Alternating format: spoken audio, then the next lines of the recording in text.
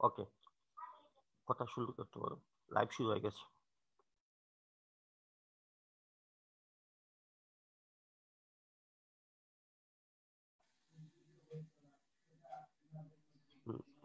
Unmute করো ভাই।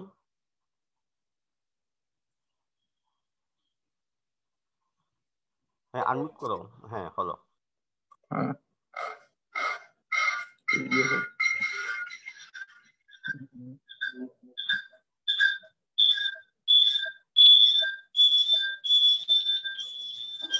ইয়ে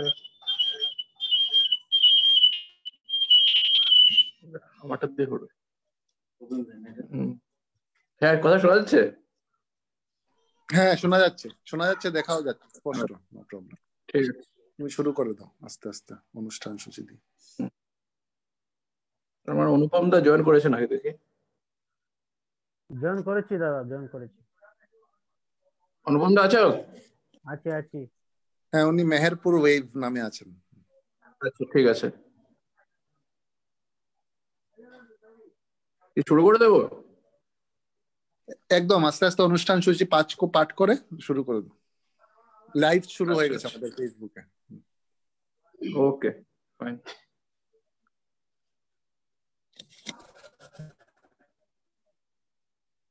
উপস্থিত দাদা সবাই আমার আন্তরিক আনন্দিত জয়গুরু। আজকে আমরা দুই হাজার একুশের প্রথম নব, ইংরেজি নববর্ষের দিন আমরা ঠাকুরকে নিয়ে আজকের সৎসঙ্গ আজকের সৎসঙ্গ আয়োজন করেছেন শ্রীযুক্ত ভবেশ পুরকাস্ত দুর্লভছড়া থেকে ওনার কন্যা কুমারী পিঙ্কি পুরকাস্তের আরোগ্য কামনায়। পরমপিতার রাতুর চরণে আমরা সবাই প্রার্থনা করব যাতে ওনার কন্যা খুবই শীঘ্রে সুস্বাস্থ্যের অধিকারী হয়ে ওঠেন আর এই যে আজকে নববর্ষের আজকে প্রথম দিন, সবাইকে আমার আনন্দের জয়গুরু, সবাইকে আমার হ্যাপি নিউ ইয়ার এই সৎসঙ্গটা শুরু করার আগে আমি একবার আজকে ইয়েগুলো বলে দিচ্ছি, কার্যক্রমগুলো। প্রথমেই আজকে প্রার্থনা করবেন শ্রীযুক্ত অনুপম চন্দ্র মেহেরপুর থেকে। তারপর আমাদের নাম ধ্যান সত্যাসন পাঠ করবেন শিলচর থেকে সুদীপ দাসদা। চলাসাথী পাঠ করবেন শ্রীযুক্ত বাপ্পা চক্রবর্তী লঙ্কা থেকে। তারপর সঙ্গীতে প্রথম সংগীত করবেন শ্রীযুক্ত জয় দাসদা শিলচর থেকে। আলোচনায় আমাদের ঠাকুরের পবিত্র পাঞ্জাদারি কর্মী শ্রীযুক্ত প্রতীক দেবরায় শিলং থেকে। তারপর আবার সঙ্গীতে পরিবেশন করবেন শ্রীযুক্ত দেবদ্যুতি ধরদা বাংলাদেশ থেকে। তারপর আবার আমরা আলোচনা শুনব জয়দীপ দার কাছ থেকে, তিনি নাগাল্যান্ড থেকে আছেন। তৃতীয় সংগীত পরিবেশন করবেন শ্রীযুক্ত বাপান মাল বাপন মালাকারদা নগাঁও থেকে। আর তারপর শেষ আলোচনা শ্রীযুক্ত রতন দাস লঙ্কা থেকে। সর্বশেষে জয়রাধে দেবেন শ্রীযুক্ত মানবেন্দ্র সিং গুয়াহাটি থেকে। জয়ধ্বনি কৌস্তব দেন। এইবার আমরা সর্বপ্রথম ঠাকুরের প্রার্থনা শুরু করব। সৎসঙ্গের শুরু হবে প্রার্থনা দিয়ে। প্রার্থনাটার জন্য আমি অনুপম দাকে অনুরোধ করছি উনি যাতে শুরু করেন। জয় গুরু। শঙ্খ বাজবে না দাদা? শঙ্খ জোকার? যে ভাষা আয়োজক এই ভাষাকে বলো। আগে ভবেশ দা আছেন নাকি? ভবেশ দা আছেন?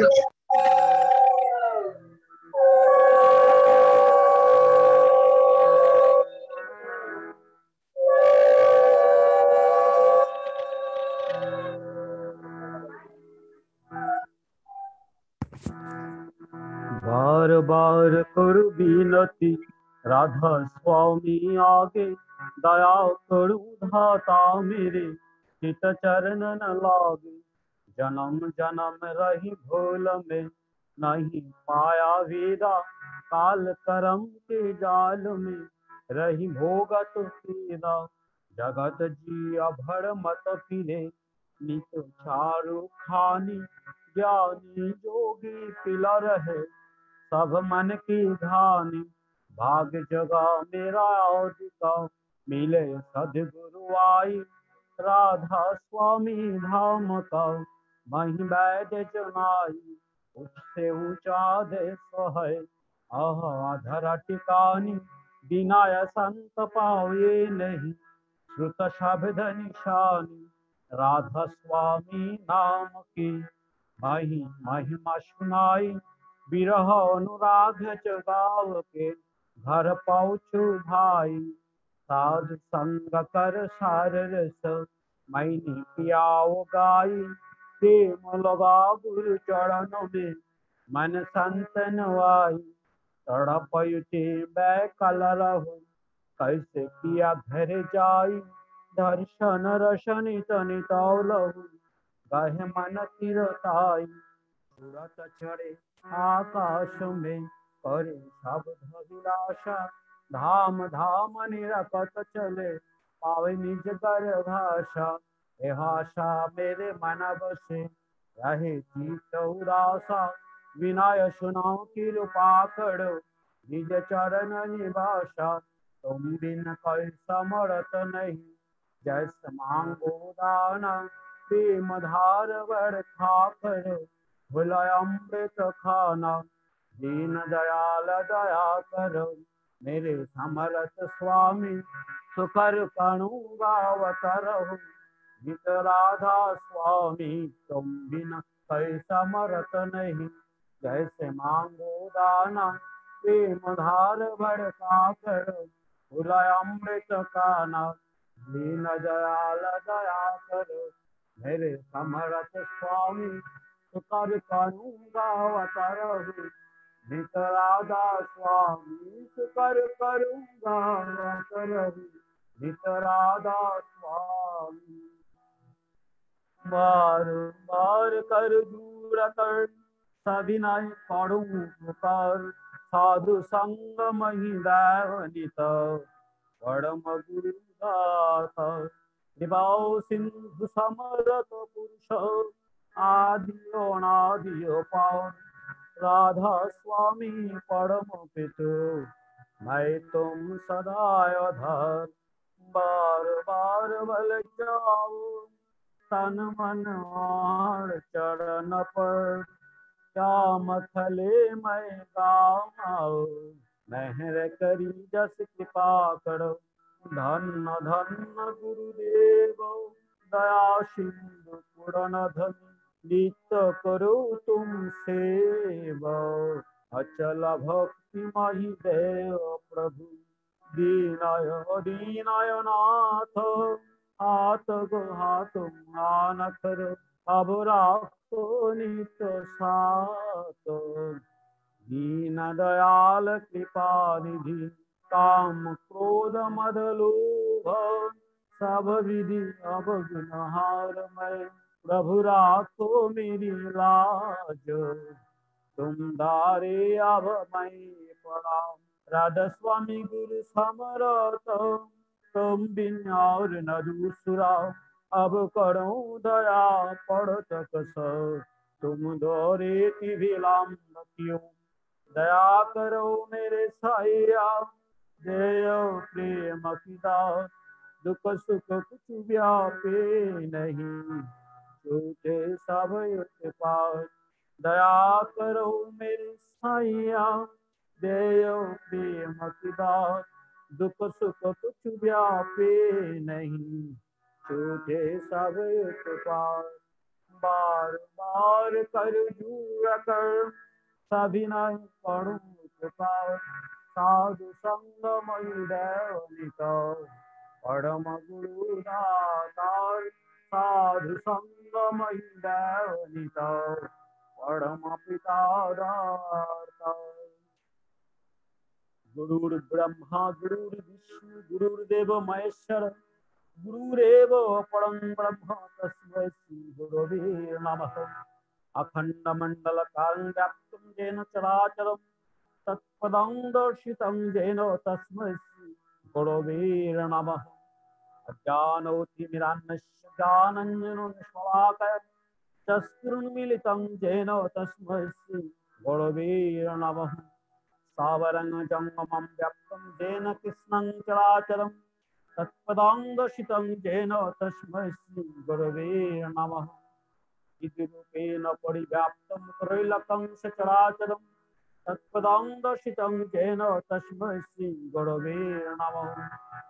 नव गुरुराधिकं तत्तं नव गुरुराधिकं तपं। तत्त्वज्ञानात् परं नास्ति, तस्मै श्रीगुरवे नमः। नाथ श्री जगन्नाथ मदिगुरु श्री जगद्गुरु मदात्मा सर्वभूतात्मा, तस्मै श्री गुरवे नमः। गुरुराधिरनादिश्च गुरु परमदैवतं गुरो परोतरं नास्ति, तस्मै श्री गुरवे नमः। ब्रह्मानन्दं परमो सुखदं केवलं ज्ञानमुक्तिं। धन्दातीतं गगनसदृशं तत्त्वमशादिलस्तम् एकं नित्यं विमलमौचलं सर्वोदीशास्त्रीभूतं भवातीतं रहितं सद्गुरुं त्वां नमामि। सद्गुरुं त्वां नमामि। सद्गुरुं त्वां नमामि।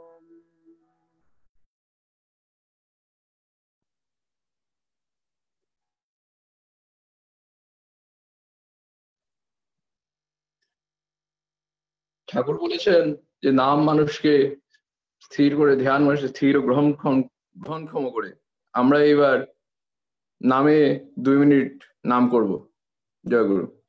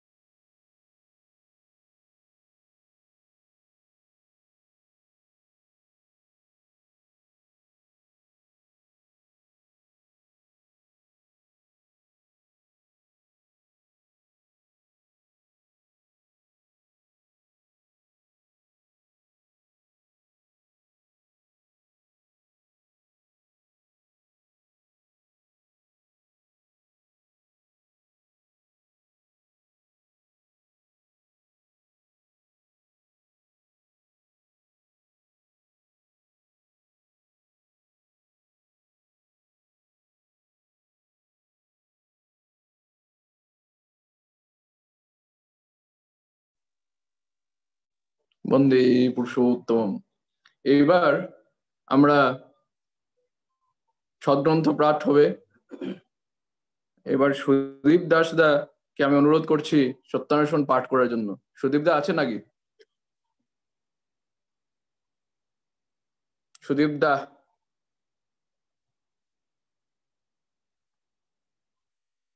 সুদীপ দা সম্ভবত জয়েন করেনি। তো আমি পড়ে দিচ্ছি। পরম প্রেমময় শ্রী শ্রী ঠাকুর অনুকূল চন্দ্রের শ্রীহস্ত লিখিত সত্যাসন গ্রন্থ থেকে পাঠ।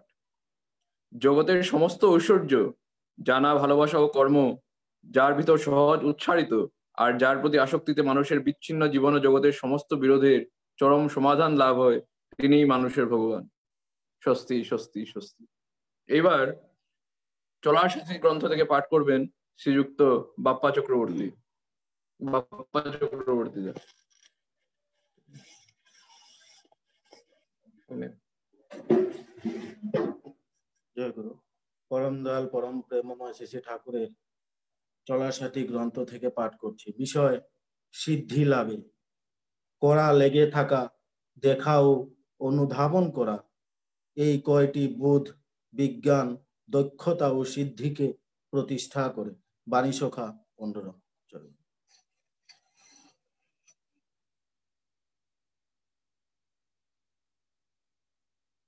এবার আমরা পরবর্তী পর্যায়ে এগিয়ে যাব। পরবর্তী পর্যায়ে আমাদের জন্য আছে আমরা এবার সঙ্গীতের অনুষ্ঠানের দিকে এগিয়ে যাব। প্রথম সংগীত পরিবেশন করবেন শ্রীযুক্ত জয়দাস দাস শিলচর থেকে। জয়দাস দাকে আমি অনুরোধ করছি সংগীত পরিবেশন করার জন্য। জয়দা।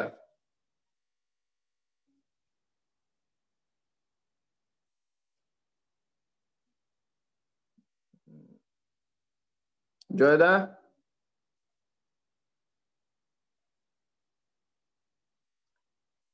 সম্ভবত জয়দাও এখনও যুক্ত হননি। আমরা তাহলে প্রথমেই ইষ্ট আলোচনায় চলে যাচ্ছি।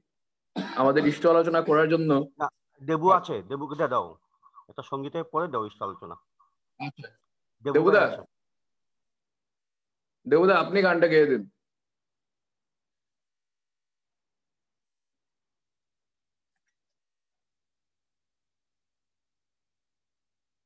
দেবুদা আনমিউট করেন। জয়গুরু দাদা। হ্যাঁ জয়গুরু। উপস্থিত সবাইকে আমার আনন্দিত জয়গুরু জানাচ্ছি। পরম পূজ্যবাদ আচার্যদেব শ্রী শ্রী দাদার লেখা এবং রিক সুন্দর সরকার দাদার সুর করা একটি গান আমি পরিবেশন করছি।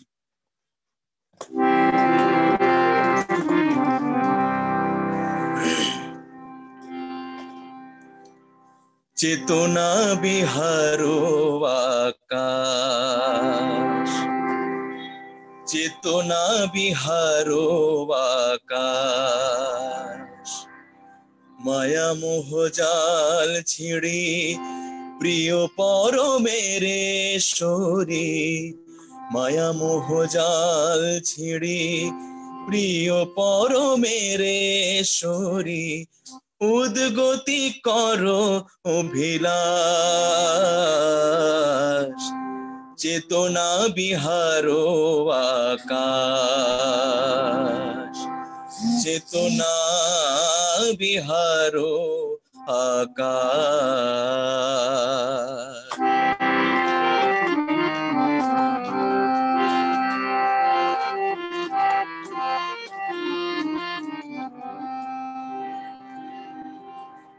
প্রাণের ঠাকুরে ধরে সোপে দাও আপনারে দৃঢ় কর ভকতি বিশ্বাস। প্রাণের ঠাকুরে ধরে সোপে দাও আপনারে দৃঢ় কর ভকতি বিশ্বাস। দূর হোক সব ভয় পাপ তাপ হোক ক্ষয়ে, দূর হোক সব ভয়। পাপ তাপ হোক ক্ষয়ে স্বস্তির হৃদয়ে যাক মরণের ত্রাস।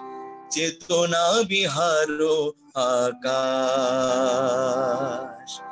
চেতনা বিহার আকাশ।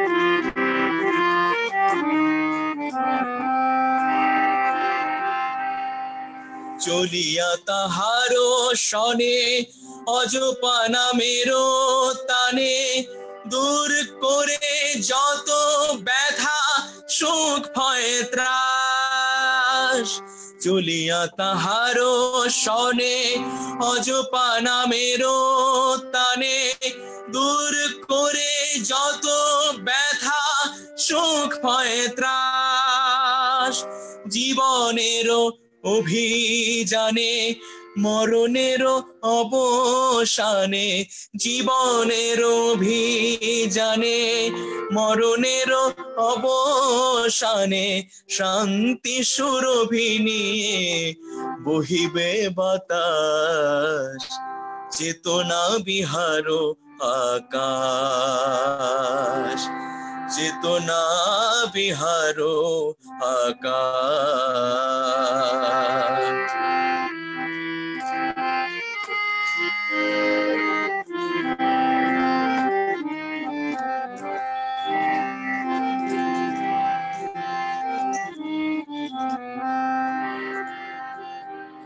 প্রভুর চরণ ধরি যাব তারে সেবা করি। আনন্দময় হোক চেতনা উদ্ভাস। প্রভুর চরণ ধরি, যাব তারে সেবা করি। আনন্দময় হোক চেতনা উদ্ভাস। সাথে যার দয়াময়, যায় তার সব ভয়। সাথে যার দয়াময়, যায় তার সব ভয়। জরা ব্যাধি মরণেরও হয় বিনাশ, চেতনা বিহার আকাশ।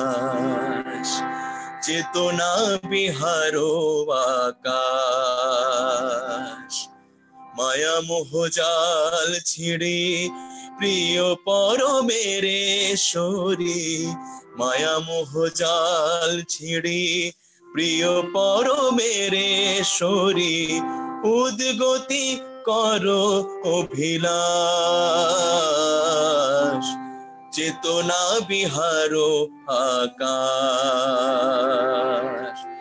চেতনা বিহার আকাশ আকাশ, চেতনা বিহার, আকাশ। জয়গুরু সবাই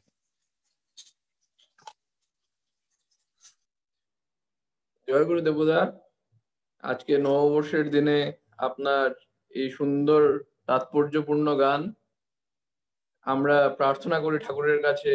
যে আপনি এইভাবেই আমাদের গান গেয়ে শোনাবেন আপনি আরও ভালো গান গাবেন সুস্থ সুস্থ থাকবেন।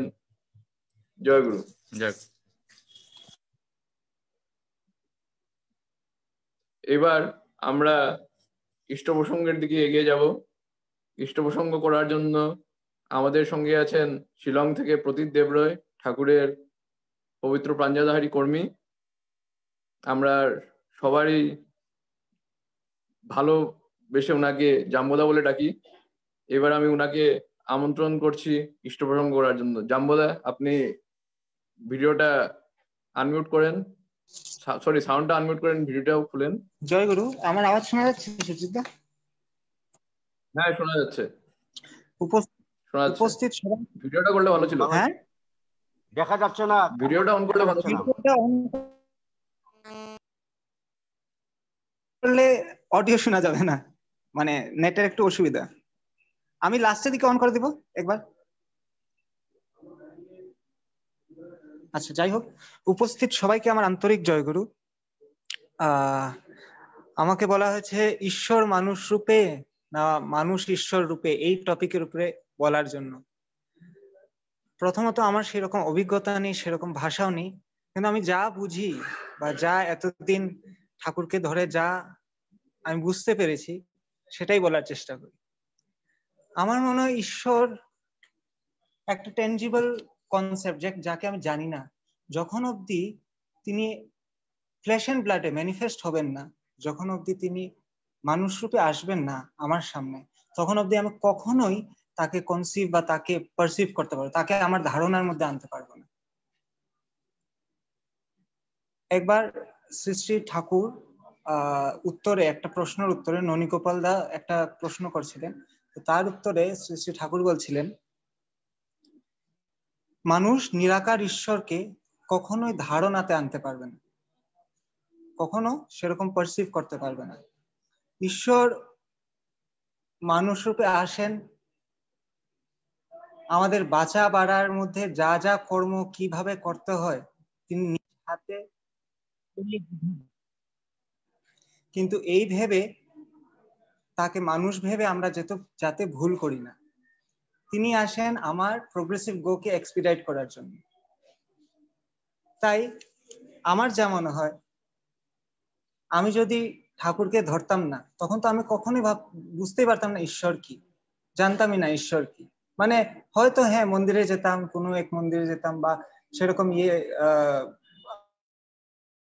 আমার ম্যানিফেস্টের মানে ফ্ল্যাশ অ্যান্ড ব্লাডে যে ঠাকুরকে আমি দেখেছি, তাই তাকে আমি ভালোবাসতে পারছি। না হলে আমি কখনো ঈশ্বরকে ভালোবাসতে পারতাম না, আমার যেমন আবার এটাও ঠিক কি আমরা তো সব তার সন্তান, তার ক্রিয়ে, তার সৃষ্টির একটা অংশ। তো আমার মধ্যেও সেই কোয়ালিটিস আছে, সেই গুণ আছে যা তার মধ্যে আছে। একবার একটা বইয়ে ডক্টর রেবতী মোহন বিশ্বাস তার বইয়ে তিনি লিখছেন কি, ঈশ্বরের যা যা অ্যাট্রিবিউটস সচিতানন্দ সচ্চিত আনন্দ সেটা প্রত্যেকটা জীবের মধ্যে প্রত্যেকটা মানুষের মধ্যে আছে। তার মানে আমার মধ্যেও ঈশ্বরত্ব গুণ আছে কিন্তু আমরা সেরকম প্রকাশ করতে পারছি না সেটাকে। একবার একটা ছোট ঘটনা বলছি আমি বেশি সময় বলব না। আহ, শ্রী শ্রী বরদা শ্রী শ্রী বরদাকে প্রশ্ন করা হয়েছিল কি আগে পরমাত্মা কি আর শ্রেষ্ঠ আত্মা মানে পরমাত্মা আর এমনি মানব আত্মার মধ্যে বেশকমটা কি? পার্থক্যটা কি? তো শ্রী শ্রী বরদা বলছেন কি যেমন একটা বড় নদী আছে, তার মাঝখানে যদি আমি একটা লগ অফ উড যদি রেখে দিই, তখন দূর থেকে মনে হবে এইটা একটা নদী আর ওই পারটা আরেকটি নদী। কিন্তু যদি আমি সেই লগ অফ উডটাকে সরিয়ে দিই, তখন ঠিক দেখা যাবে এটা একই নদী। ঠিক সেইভাবে পরমাত্মা আর মানুষের আত্মা একই। শুধু পার্থক্যটা হচ্ছে আমার কমপ্লেক্সেস যখন আমি আমার কমপ্লেক্সের কমপ্লেক্সেস এর উপরে আমার কন্ট্রোল আসবে, বৃত্তি প্রবৃত্তির উপরে আমার কাবু আসবে, তখনই আমি তার গুণকে আমার মধ্যে প্রকাশ করতে পারব ধীরে ধীরে। আর যদি আমার নিজের কমপ্লেক্সেস কে নিজের কন্ট্রোলে আনতে লাগে নিজের নিয়ন্ত্রিত করতে লাগে, তখন আমাকে তাকে ভালোবাসতে হবে। ঠাকুরের একটা বাণী আছে, যেখানে তিনি বলছেন কি, অনুরাগী আমার ইষ্ট দেবতার প্রতি যদি আমার অনুরাগ থাকে, তখনই আমি আমার কমপ্লেক্সেসকে কাবুতে কন্ট্রোলে করতে পারব। তাই তাকে ভালোবেসে, যখন আমি আমার ঈশ্বরকে ভালোবাসবো, যদি আমি তাকে ভালোবাসতে পারি তখনই ধীরে ধীরে ধীরে আমার মধ্যেও সেই কোয়ালিটিস গুলি, সেই গুণগুলি প্রকাশ হবেই। হবেই হবে। একবার ঠাকুর, শ্রী ঠাকুর সকালবেলা, ভোরবেলা হাঁটতে বেরিয়েছেন। তো হাঁটতে হাঁটতে একটি মাঠের মধ্যে তিনি হাঁটছেন। তো তার সাথে ঠাকুরের একজন ভক্ত হাঁটছেন। হঠাৎ ভক্তর মনে একটা প্রশ্ন হলো কি, ঠাকুর তো আমাদেরকে অনেক কিছু বলেছেন করার জন্য। এইভাবে চলতে হবে জীবনে, এইভাবে এই, এইগুলি জিনিস করতে হবে, অনেক বানিয়ে দিয়ে গেছেন সেটা সব আমার জন্য। কিন্তু আমার জীবন তো অনেক সীমিত। তো আমি এই ছোট জীবনে কি তার ইচ্ছাটাকে পূর্ণ করতে পারব? তো এই প্রশ্ন নিয়ে সেই ভক্ত ঠাকুরের সাথে তিনি হাঁটছেন। হঠাৎ করে ঠাকুরকে এই প্রশ্নটা করে ফেললেন। তো ঠাকুর তখন সেই ঘাসের মধ্যে হাঁটছিলেন, মাঠের মধ্যে হাঁটছিলেন। তো একটি ঘাসের দিকে তাকিয়ে ঠাকুর বললেন কি, এই ঘাসটি এত ঝলমল কেন করছে? তো সেই ভক্ত বলল, আগে সকালবেলার, ভোরবেলার সময় ঘাসের মধ্যে কুয়াশা পড়ে আছে। সূর্যের আলো যখন সেই ঘাসে পড়ছে, তখন সেই কুয়াশার জন্য সেই ঘাসটা সেই আলোকটাকে রিফ্লেক্ট করছে। তাই এত ঝলমল করছে। তারপর ঠাকুর বললেন, ঠাকুর জিজ্ঞাসা করলেন, এই ঘাসগুলি কতদিন বাঁচবে? সেই ভক্ত বলল কি, আগে হয়তো এক দুই দিন হয়তো এক দুই মাস বা এক দুই বছর। তারপর শ্রী শ্রী ঠাকুর বললেন, এই যে ছোট ঘাস, তার জীবন তো আরও সীমিত। কিন্তু তার এই ছোট্ট জীবনেই যদি সে মহান সূর্যর আলোটাকে রিফ্লেক্ট করতে পারে আর নিজে ঝলমল হয়ে থাকতে পারে, তবে কি আমি আমার জীবনে আমার ঈশ্বরের কথা, আমার প্রভুর কথা, আমার প্রিয় পরমের কথা করতে পারি না? তাকে আমার মধ্যে প্রকাশ করতে পারি না? একদম পারি। এই গল্পটা শোনার পরে আমার আরেকটা জিনিস মনে হলো, হয়তো সেই খোয়াশাটা হচ্ছেন আচার্যদেব আমি যদি আমার আচার্যদেবের প্রতি আমার যদি ভালোবাসা থাকে, তার সাথে যদি অ্যাটাচড হয়ে থাকি টিউনড হয়ে থাকি, তখনই আমার ঈশ্বরের কথা, আমার ঠাকুরের কথা, আমার ঠাকুরের কথা আমার মধ্যে প্রকাশ হবে। তখনই আমার মধ্যেও তার গুণ ধীরে ধীরে প্রকাশ হবেই হবে। আর সেটাই তো আমাদের মিশন যাই হোক আমি আর বেশি দীর্ঘায়িত করব না। আমার এতটুকুই বলা ছিল। সবার মঙ্গল প্রার্থনা করে আমি এখানেই শেষ করছি। জয় গুরু।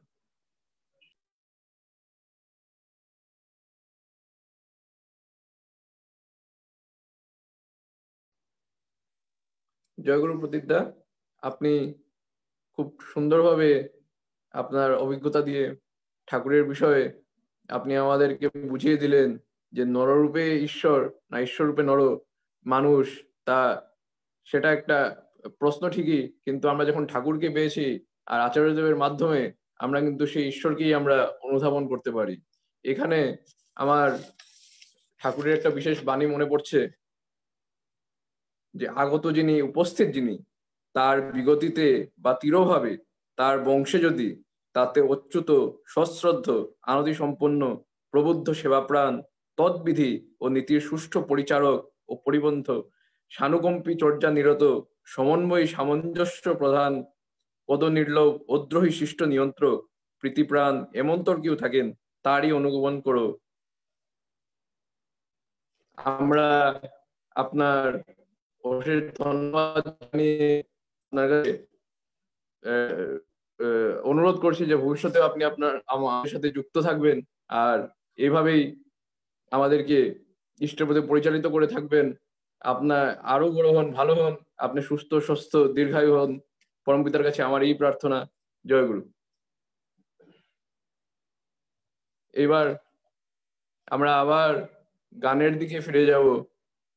আমি অনুপম চন্দ্রদাকে অনুরোধ করব একটা গান পরিবেশন করার জন্য। অনুপম দা। আগে আছি করছি।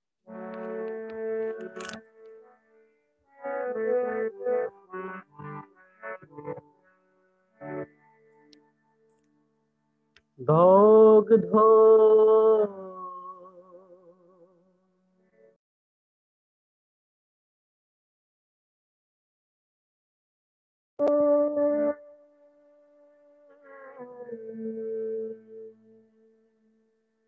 বসে তুমি। দুঃখ কালিমা গুছায় ধগদ পরাণে বসে সে তুমি দুঃখ কালিমা গুছায় দগ্ধ পরাণে বসে সে তুমি দুঃখ কালিমা গুছায় তব শান্তি কিরণ দিয়ে দাও মন হৃদয় মুছায় তপ্ত হৃদয় মুছায় তপ্ত হৃদয় মুছায় তপ্ত হৃদয় মুছায় দুঃখ কালিমা গুছায় ভগ্ধ পরাণে বসে তুমি। দুঃখ কালিমা গুছায় তব পূর্ণ মহিমা ব্যক্ত রয়েছে। অখিল সংসার ভরিয়া, তব পূর্ণ মহিমা ব্যক্ত রয়েছে। অখিল সংসার ভরিয়া, আমি শূন্য হৃদয়ে ছুটিয়াছি শুধু মুখ চরণ সরিয়া। আমি শূন্য হৃদয়ে ছুটিয়াছি শুধু শূন্য হৃদয়ে ছুটিয়াছি শুধু চরণ সরিয়া। তুমি কালো পরমহন্তা বুঝাও পাপ পন্তা তুমি কালো পরমহন্তা তুমি গুছাও পাপ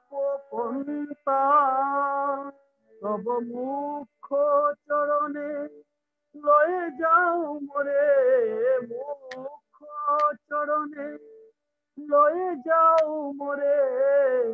বিশ্ব বিপদ ভুলায়ে মুখ লয়ে যাও মোরে। বিশ্ব বিপদ ভুলায়ে। দুঃখ কালিমা গুছায়ে।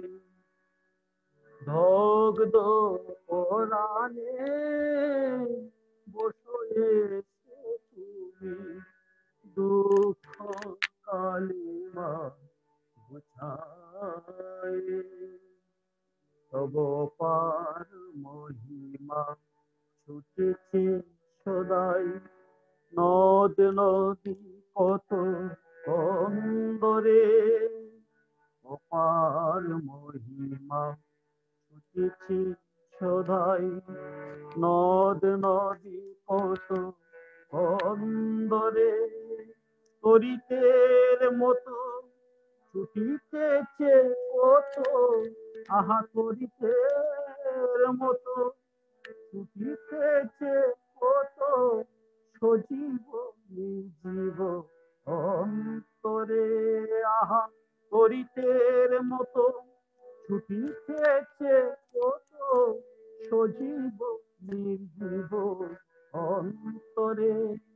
আমি বিপদ সাগরে পড়িয়া মরি গো ডাকিয়া ডাকিয়া, আমি বিপদ সাগরে পড়িয়া মরি গো ডাকিয়া ডাকিয়া, তব মুখ চরণে স্থান দাও মোরে, মুখ চরণে স্থান দাও মোরে। দগ্ধ ভূতায়ে। তব মুখ চরণে স্থান দাও মোরে। দাও দুঃখ কালিমা গুচায়ে দাও দুঃখ কালিমা গুচায়ে মুখ চরণে স্থান দাও মোরে।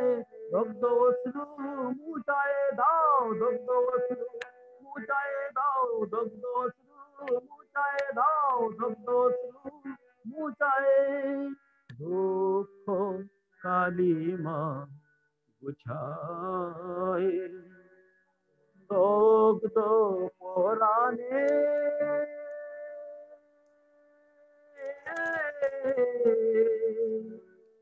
বসয়ে সে তুমি দুঃখ কালিমা গুছায় জয় জয় গুরু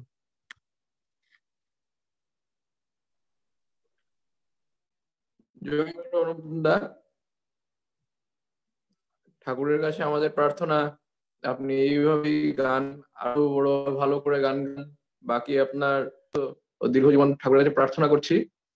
এবার আমরা আবার ইষ্ট প্রসঙ্গের দিকে এগিয়ে যাব। এইবার আমাদের সাথে যুক্ত আছেন জয়দীপ দা নাগাল্যান্ড থেকে। জয়দীপ দাকে আমি অনুরোধ করছি ইষ্ট প্রসঙ্গ করার জন্য। উনি আনমিউট করুন ভিডিওটা অন করুন জয়দীপ দা। জয় গুরু জয় গুরু জয় গুরু হ্যাঁ শোনা যাচ্ছে? খুব স্পষ্ট। হ্যাঁ শোনা যাচ্ছে শোনা যাচ্ছে। আজকের এই মহতি সৎসঙ্গে আজকে নববর্ষের প্রথম দিন আজ এই মহতি সৎসঙ্গে উপস্থিত সকলকে এবং সর্বপ্রথম আমি পরম প্রেমবাসী ঠাকুর পরমারাধ্যা যজ্ঞজনী শ্রী পরমা পরম পূজ্যপাদ শ্রী বর্দা বর্তমান শ্রী দাদা পূজ্যপাদ বাবাইদা পূজনীয় অবিন্দ রাতুল চরণের সত্যকে প্রণাম জানাই। এবং আজকের এই সৎসঙ্গে উপস্থিত আমার পবিত্র পাঞ্জাবি কর্মীগণ এবং আমার শ্রদ্ধেয় দাদা, মা, ভাই, বোন সকলকে জানাই আনন্দিত জয়।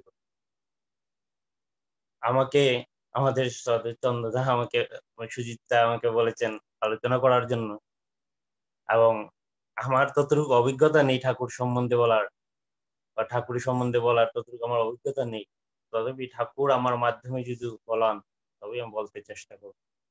আর আমাকে বলা হয়েছে মানে প্রসঙ্গ দেওয়া হয়েছে, বর্তমান যুগ জীবন ও শ্রী শ্রী ঠাকুর অনুকূল চন্দ্র। আমি আমার অভিজ্ঞতার ইয়ের দিকে আমি বলতে চেষ্টা করছি। আজকে বর্তমান যে যুগ সমস্যা যুগ সমস্যা সবচেয়ে মেইন ইয়ে হচ্ছে, আজকে যে দেখা যাচ্ছে ঘরে ঘরে আমরা সবাই কিন্তু আমরা চাই জীবনে সুন্দর হওয়ার জন্য, ভালো হওয়ার জন্য আমরা সবাই কিন্তু চাই। আমরা যে যেভাবেই থাকি না কেন, আমরা সবাই চাই সুন্দর হওয়ার জন্য। আমরা জীবনে যে যাই কিছু করি না কেন, সবারই উদ্দেশ্য সুন্দর হওয়ার জন্য। কিন্তু দেখা যায় কি, সমাজে প্রত্যেকটা মানুষ কিন্তু সেম ভাবে সুন্দর হচ্ছে না। তার মূল কারণটা হলো কি, জীবনের আইডিয়াল। আমরা জীবনে, আমরা একটা জিনিস আমরা সবাই জানি, মানুষ জাতির একটাই, একটা ইয়ে যে কি, কাউকে ফলো করেই আমরা জীবনে শিখি। আমরা জীবনে যাই শিখি না কেন, আমরা কাউকে ফলো করে শিখি। কাউ, আমাদের আইডিয়াল একজন লাগে। আমরা ছোটবেলায় সময় হাঁটা শিখি তখন কিন্তু আমাদের বাবা বা মা, দাদা ওরাদের মাধ্যমে আমরা কিন্তু হাঁটা শিখি বা যে কোনো কিছু শিখি, কথা শিখি, সবকিছু আমরা কিন্তু কারও মাধ্যমে শিখি, কারও ফলো করে শিখি। সেই গাইড যত সুন্দর হয়, তত আমাদের কিন্তু চরিত্র তত সুন্দর হয়ে যায়। ঠিক সেইভাবে আমরা জীবনের সময় সমাজে চলার জন্য বা আমাদের জীবনটা সুন্দর করার জন্য এমন একজন আইডিয়ালের প্রয়োজন যিনি নাকি সবকিছু জানেন। একজন মানুষ সুন্দর হওয়ার জন্য কি কি প্রয়োজন সবকিছু যার জানা আছে- তার স্মরণাপন্ন যে সময় হই, তখন কি হয় আমাদের জীবনটা সুন্দর হয়ে যায়। আজকে সমাজে দেখা যায়, সমাজে মা বাবার এত কষ্ট করে ছেলে মেয়েদের বড় করে, কিন্তু দেখা যায় বড় হয়ে ছেলে মেয়েরা মা বাবাকে সেইভাবে ইয়ে করে না, শ্রদ্ধা করে না বা ইয়ে করে না। এগুলো আজকের বর্তমান কলিযুগের যে শেষের সময় এটাই সবচেয়ে বড় সমস্যা। যে মানুষ যেভাবে চাচ্ছে, সেইভাবে কিন্তু হয়ে উঠছে না। আর তার একমাত্র সমাধান হলো একজন যুগ পুরুষোত্তম আমরা সবাই জানি, যুগে যুগে যখন পুরুষোত্তম আসেন, সেই যুগের সমস্যার সমাধান নিয়ে আসেন কিন্তু। আমরা সবাই জানি যে সময় দ্রাপর যুগে শ্রীকৃষ্ণ আসছিলেন, সেই যুগের যুগোপযোগী যেগুলো সম- সমস্যা, সেই সমস্যা সম- নিয়ে আসছিলেন। এবং তার সমাধান দিয়েছিলেন। আর তখনকার যারাই উনার শরণাপন্ন হয়েছিল, তারা কিন্তু সেই পরিস্থিতিতে যেতুই কঠিন ইয়ে থাকুক, তার মধ্যে তারা উদ্ধার হয়ে গেছিল। সেই যুগে কিন্তু। সেই যুগের সঙ্গে শ্রীকৃষ্ণ যার শ্রীকৃষ্ণের শরণাপন্ন যারাই হয়েছে, তারাই কিন্তু উদ্ধার হয়ে গেছে। এখন আমরা সবাই জানি, তখনকার শ্রীকৃষ্ণ একটা বাণী বলেছিলেন যে, যদা যদা হি ধর্মস্য গ্লানি ভবতি ভারত অভ্যুত্থান অধর্মস্য তদস্মানম সৃজম মহান। পরিত্রাণায় সাধুনাম বিনাশায় চ দুষ্কৃতম সম্ভবামি যুগে যুগে। তিনি যুগে যুগে আসেন, যুগে যুগে পুরুষোত্তম আসেন, এসে সেই যুগে যা প্রয়োজন, সেই যুগের যা যা দরকার, মানুষের সেই যুগের যে কোনো যত কিছু আছে সমস্যা, তার সমাধান নিয়ে তিনি আসেন। আজকে দেখা যায় বর্তমান যুগের সবচেয়ে বড় সমস্যা হলো পারিবারিক সমস্যা। আমাদের পারিবারিক বিভিন্ন, দেখা যায় ঘরে ভাই বোন আছে, সবাই আছে, তার মধ্যে কিন্তু আনন্দ নাই। এই যে পরিস্থিতি, তার জন্য কিন্তু ঠাকুর এবার আমার মনে হয় ঠাকুর যে সব পরিবার নিয়ে আসছেন। আজকে ঠাকুর আমরা আমরা সময় দেওঘর যাই, আমরা কিন্তু দেখি ঠাকুর পরিবারে সবাই কীভাবে চলতে হয়, কীভাবে কি করতে আমরা প্র্যাকটিক্যাল আমরা দেখে কিন্তু আজকে আমরা যারাই সৎসঙ্গী, আমরা কিন্তু সেইভাবে আমরা চলার আমরা প্রেরণা পাই। আমরা দেওঘর যাই যে আমরা দেওঘরে কিন্তু আমরা অন্য কিছু দেখতে পাই না কিন্তু। যেটা নর্মাল আমরা গেলে দেওঘরে গেলে তারা নর্মাল পরিবার কীভাবে চলে সেই দেখে আমরা কিন্তু অনুপ্রাণিত হই এবং আসে আমরা সেইভাবে চলার চেষ্টা করি। আর এইভাবেই আমরা যত সুন্দর করে চলতে পারি, আমাদের জীবন সুন্দর হয়। দেখা যায় যুগে যুগে পুরুষোত্তম যখন আসেন, যুগ পুরুষোত্তম যখন আসেন, যুগের সমস্যার সমাধান নিয়ে আসেন। আগে কিন্তু আমরা দেখতে পাই, যতই পুরুষোত্তম আসছিলেন, তারা কিন্তু পরিবার নিয়ে আসেন নাই। পরিবার মানে মানে নাতি পুতি সব নিয়ে আসেন নাই। কিন্তু এইবার কিন্তু ঠাকুরের যেন আসলেন পুরুষোত্তম সবকে নিয়ে আসলেন। আমরা দেখি ঠাকুর ছিলেন বর্দা দাদা, বাবাইদা, অবিন্দা। এভাবে আমরা পুরো পরিবার দেখতে পারি। কীভাবে পরিবার সুন্দর করা যায়? একটা পরিবার কীভাবে সুন্দর হয়ে যায়? আর ঠাকুর বললেন, সর্বপ্রথম মানে নিজে সুন্দর হতে হবে, তারপরে আমার পরিবার সুন্দর করবে, তারপরে দেশ। সমাজ, তারপরে দেশ। এইভাবে মানে সুন্দর হওয়া যায়। আজকের সমাজের যে সমস্যা, তার সমস্যার মেইন মূল হলো আজকে ঠাকুরের যে যেভাবে এই নিয়মগুলা যে, আর এর জন্য কি হয় সবচেয়ে প্রথম হলো সেটা আজকে ঠাকুরের প্রতি আমাদের বিশ্বাস থাকতে হবে, ঠাকুরের প্রতি আমাদের করণীয় আছে, ঠাকুরের কথা প্রচার করতে হবে ঠাকুরের কথা বলতে হবে। আজকের যুগ সমস্যার সমাধান করতে হলে সবচেয়ে বড় আজকে যে পরম পুজোবাদী দাদা যে বললেন যে দীক্ষার কথা, দীক্ষা যদি না নেয় ঠাকুরের প্রতি কিন্তু তাদের ভালোবাসা হবে না মানুষের, যারা ঠাকুরের শরণাপন্ন হয় নাই।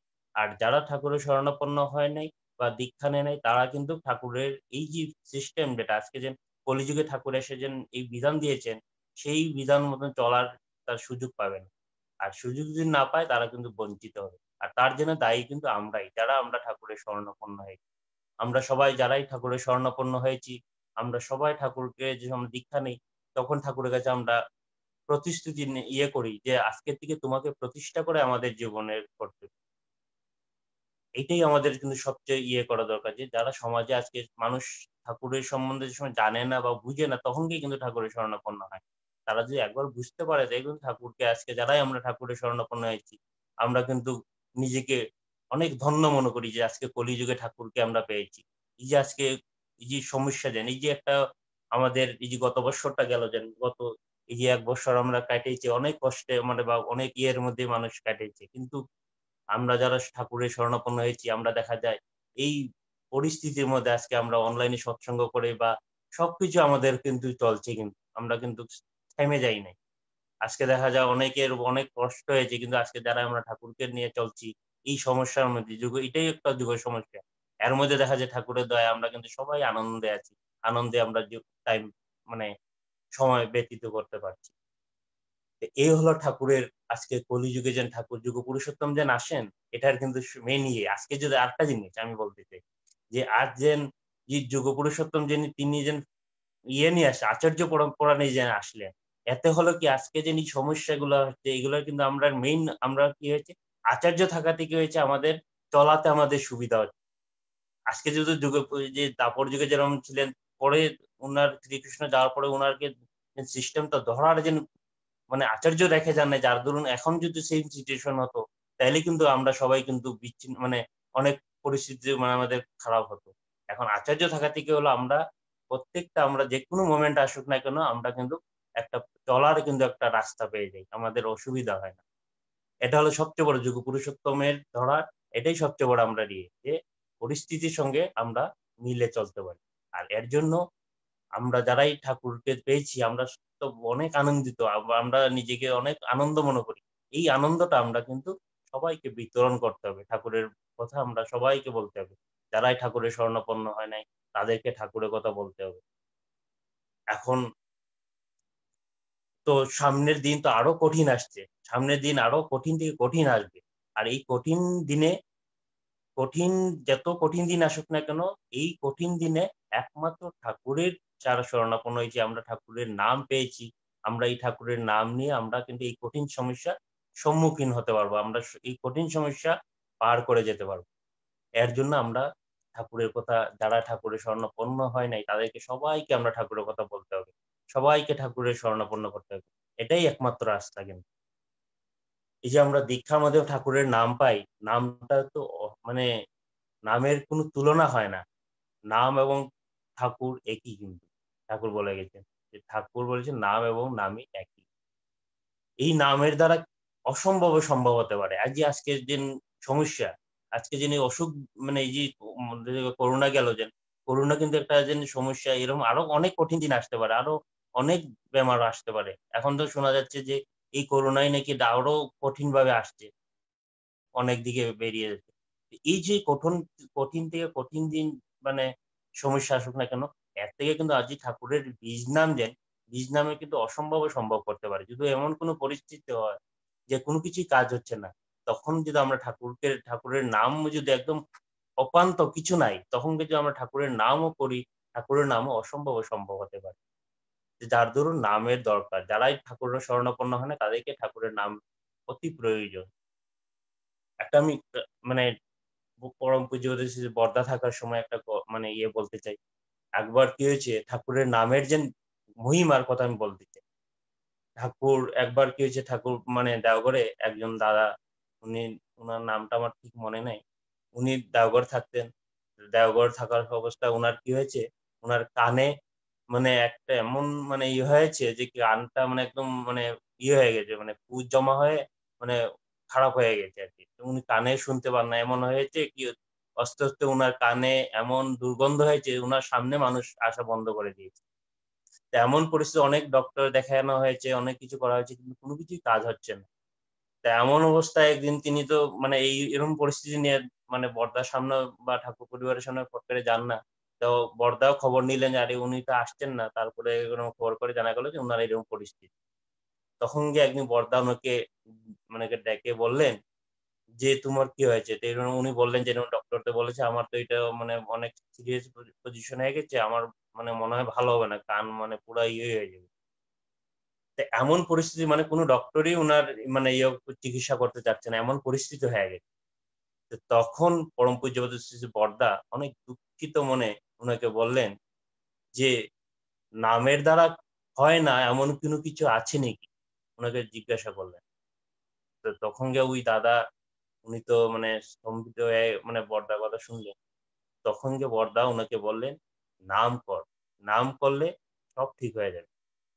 এই করার পর থেকে উনার বিশ্বাসও পাকা হয়ে গেল এবং তার পর দিন থেকে উনি ঠাকুরের বীজ নাম কন্টিনিউ করতে লাগলেন। এইভাবে করতে করতে দেখা গেল কি ওনার আস্তে আস্তে দেখা যায়, কোনো ওষুধ খাননি। শুধু ঠাকুরের নামই করে যাচ্ছে এইভাবে নাম করতে করতে দেখা গেল কি আস্তে আস্তে ওনার কানের এই দুর্গন্ধটাও কমে গেল।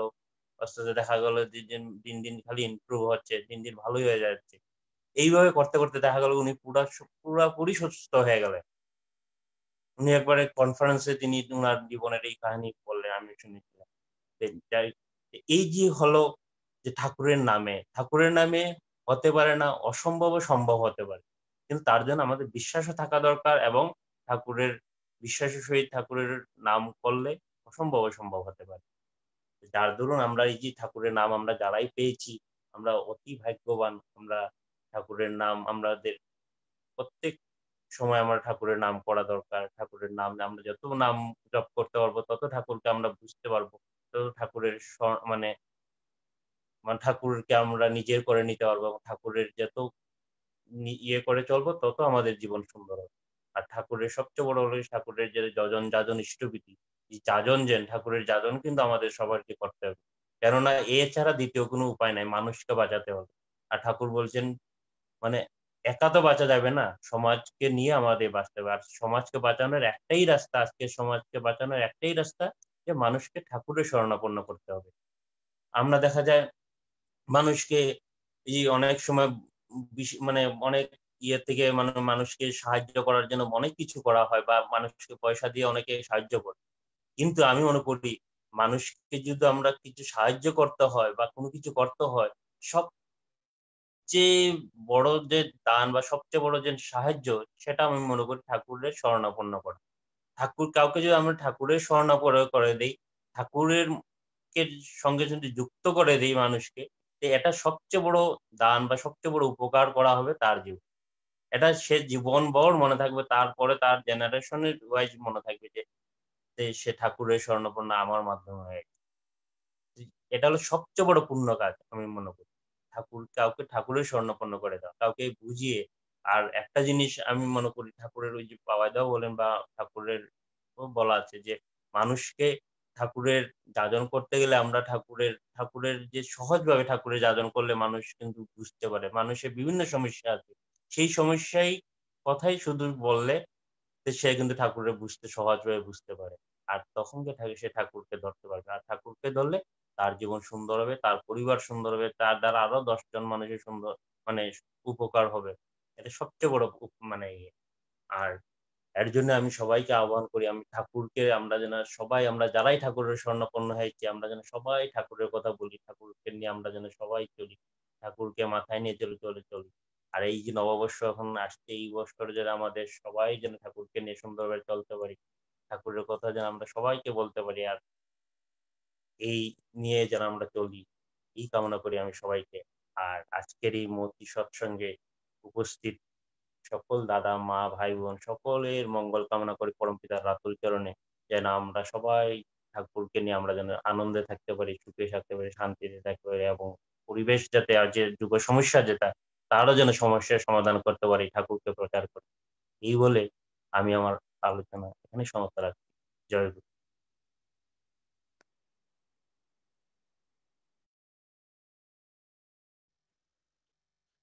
জয়গুরু জয়দীপ দা আপনি খুব সুন্দরভাবে প্রাঞ্জল করে বর্তমান যুগ সমস্যা যুগ জীবনে কীভাবে আমরা ঠাকুরকে নিয়ে চলে সমস্ত সমস্যাকে অতিক্রম করতে পারি। আপনি খুবই সুন্দরভাবে আমাদেরকে জানিয়ে দিলেন। আপনার সুস্থ সুস্থ দীর্ঘ জীবন কামনা করছি। এইভাবেই আমাদের সাথে যুক্ত হয়ে থাকবেন। এই আমার আপনার বিশেষ অনুরোধ। আর আপনি যেভাবে আমাদেরকে প্রত্যেকটা বিষয় নিয়ে খুলে বললেন, আমার একটা ঠাকুরের বাণীর কথা মনে পড়ল, যেখানে তিনি বিশেষ করে বলছেন যে, ওঠো, জাগো বরণীয় যিনি তাতে নিবুদ্ধ হও। উষা এলো আজ এ জীবনে নবীন হয়ে, নবীন উদ্যমে অর্ক আলোকে উদ্বুদ্ধ করে তোলো। তারই জীবন মন্ত্রে ওঠো, আসন গ্রহণ করো, প্রার্থনা করো। প্রবুদ্ধ হয়ে সকল কর্মে তাকে পরিপালন করো।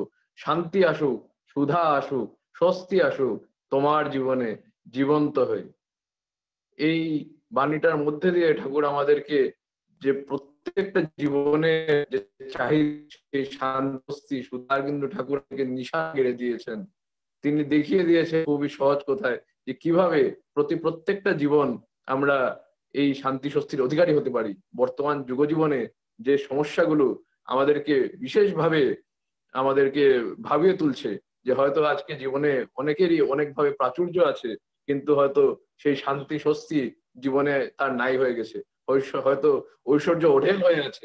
টাকা পয়সার হয়তো কোনো অভাব নেই কিন্তু যেন শান্তি স্বস্তিটা স্যাটিসফ্যাকশন যেটাকে বলি সেটা যেন ওর জীবন থেকে তমসাচ্ছন্ন হয়ে কোথায় হারিয়ে গেছে। কিন্তু আমাদেরকে এই সহজ পথটা এবার ধরিয়ে দিয়েছেন। আপনাকে আবারও আমি অসংখ্য ধন্যবাদ জানাচ্ছি যুক্ত হওয়ার জন্য। এইবার আমরা পরবর্তী পর্যায়ে গানের দিকে এগিয়ে যাব। এবার আমাদের গান পরিবেশন করবেন শ্রীযুক্ত বাপকারদা বাপদা আপনাকে অনুরোধ করছি, আপনি গান পরিবেশন করার জন্য। জয়গুরু বাপন বাপন বাপন দা আপনি আনমিউট করুন।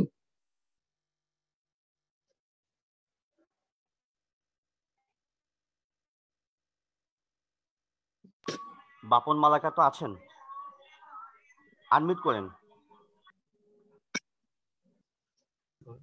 শোনা যাচ্ছে? হ্যাঁ শোনা যাচ্ছে। শোনা যাচ্ছে।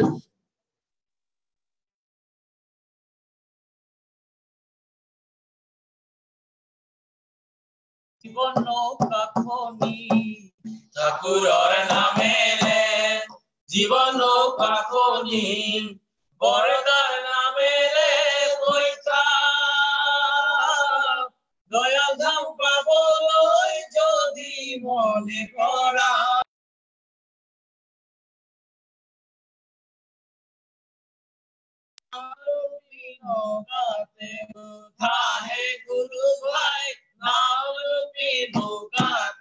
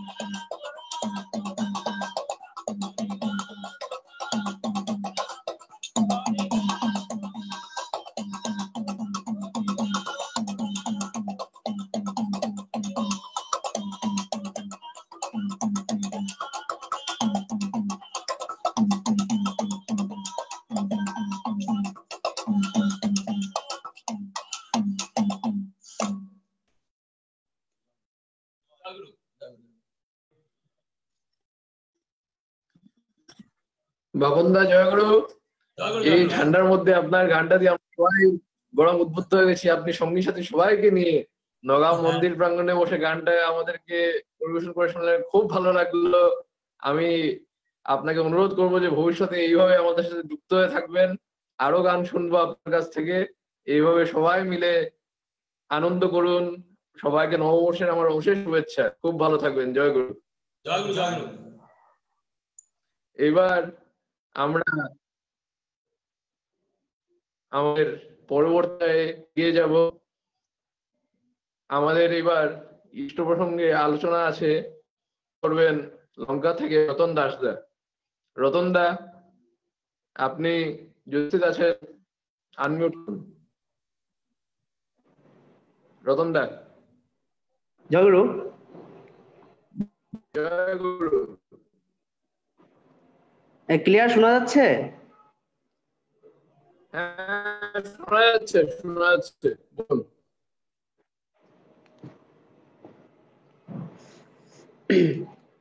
বন্দে পুরুষোত্তম বন্দে আজকের সৎসঙ্গে উপস্থিত সকল দাদা ও মায়েদেরকে পাঞ্জাধারী ঋত্বিক দেবতা সম্মানীয় সকলকে আমার রানন্দিত জয়গুরু। আজ আমাকে একটু আলোচনা করার জন্য শিলচরের আমাদের দাদা সুজিত চন্দ্র দা আমাকে একটু আলোচনা করার জন্য বলেছে। তেমন বিশেষ কোনো আলোচনা করার আমার অভিজ্ঞতা নেই। একটু বলার চেষ্টা করব। কিছু ভুল ত্রুটি হলে আপনারা ক্ষমা করে দেবেন। আজকের আমার বিষয়টি হলো, দীক্ষা নিয়ে শিক্ষা ধরিস আচার্যকে করে সার আচরণী বুচ্চয়নে জ্ঞানের সাগর হোস না পার আমাদের জীবনে দীক্ষার প্রয়োজনতা, প্রয়োজনীয়তা কি? দীক্ষা নিলে কি হয় আমাদের জীবনে এমন পরিবর্তন? যে ঠাকুর বারবার করে আমাদেরকে বলেছেন যে বারো বছর বয়সে দীক্ষা নিতে হয়। বারো বছর বয়স থেকে মানুষের মানসিক জীবনে, শারীরিক জীবনের অনেক কিছুই পরিবর্তন আসে। যেখান থেকে জীবনের একটি টার্নিং পয়েন্ট শুরু হয়, যেখান থেকে মানুষ একটি নতুন জীবনের পথে এগিয়ে যেতে থাকে।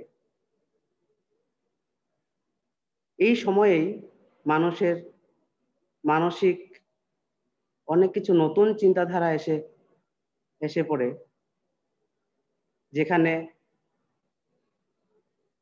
সাইন, দার্শনিকরা বলেছেন যে সেই সময়টি হচ্ছে যে অনেক ঝড়, তুফানের সময়। যে সময়ে মানুষের জীবনে অনেক ভুল ত্রুটি হয়ে যেতে পারে। মানুষ এই সময়ে অনেক ভুলের ফলে নিজের জীবন ধ্বংস হয়ে যেতে পারে। তাই এই বারো বছর বয়সের যে দীক্ষার কথা, সেটা কোনো আজকালের নতুন কথা নয়। সেটা যুগ যুগান্তর ধরে চলে আসছে। ঋষিমুনিরাও আগের আগের কারের পড়াশোনা এমন কোনো স্কুল, কলেজের মাধ্যমে হতো না। আমরা সবাই জানি যে আগের আগেরকার পড়াশোনা হতো। টুল, সংস্কৃত টুল যেমন ঋষিমুনিরার আশ্রমে হতো। সেখানে নির্দিষ্ট একটা সময় হওয়ার পর সবাই নিজের ছেলে, ছেলেদেরকে নিয়ে গুরুর আশ্রমে রেখে আসতে হতো। তার জীবনের সম্পূর্ণ শিক্ষা সম্পূর্ণ না হওয়া পর্যন্ত।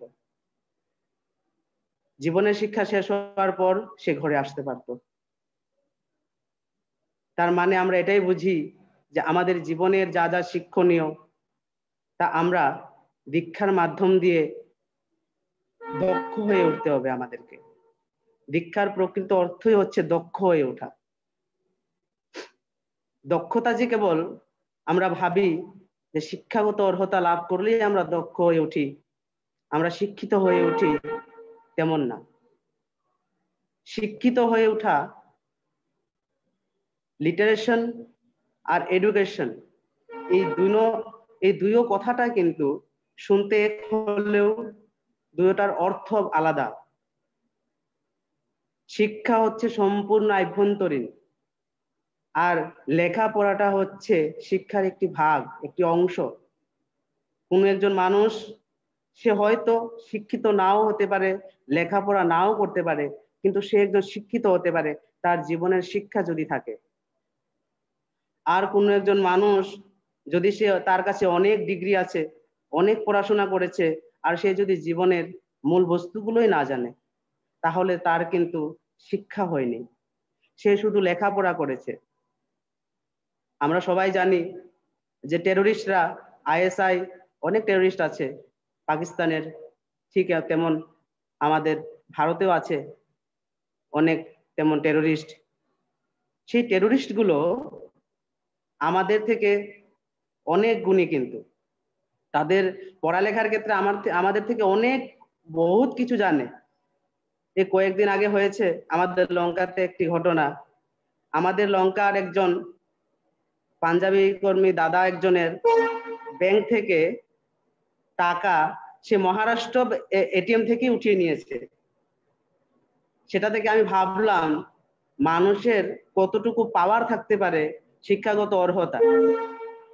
সে মহারাষ্ট্র থেকে বসে লঙ্কার এটিএম থেকে, লঙ্কার অ্যাকাউন্ট থেকে সে টাকা উঠিয়ে নিয়েছে। তার কতটুকু সেই ক্যাপাসিটি আছে। কিন্তু আসল কথাটি হলো যে শিক্ষাটা তার কতটুকু হয়েছে, সে তার পড়ালেখাটাকে কতটুকু ভালোর দিকে আর কতটুকু খারাপের দিকে ব্যবহার করছে।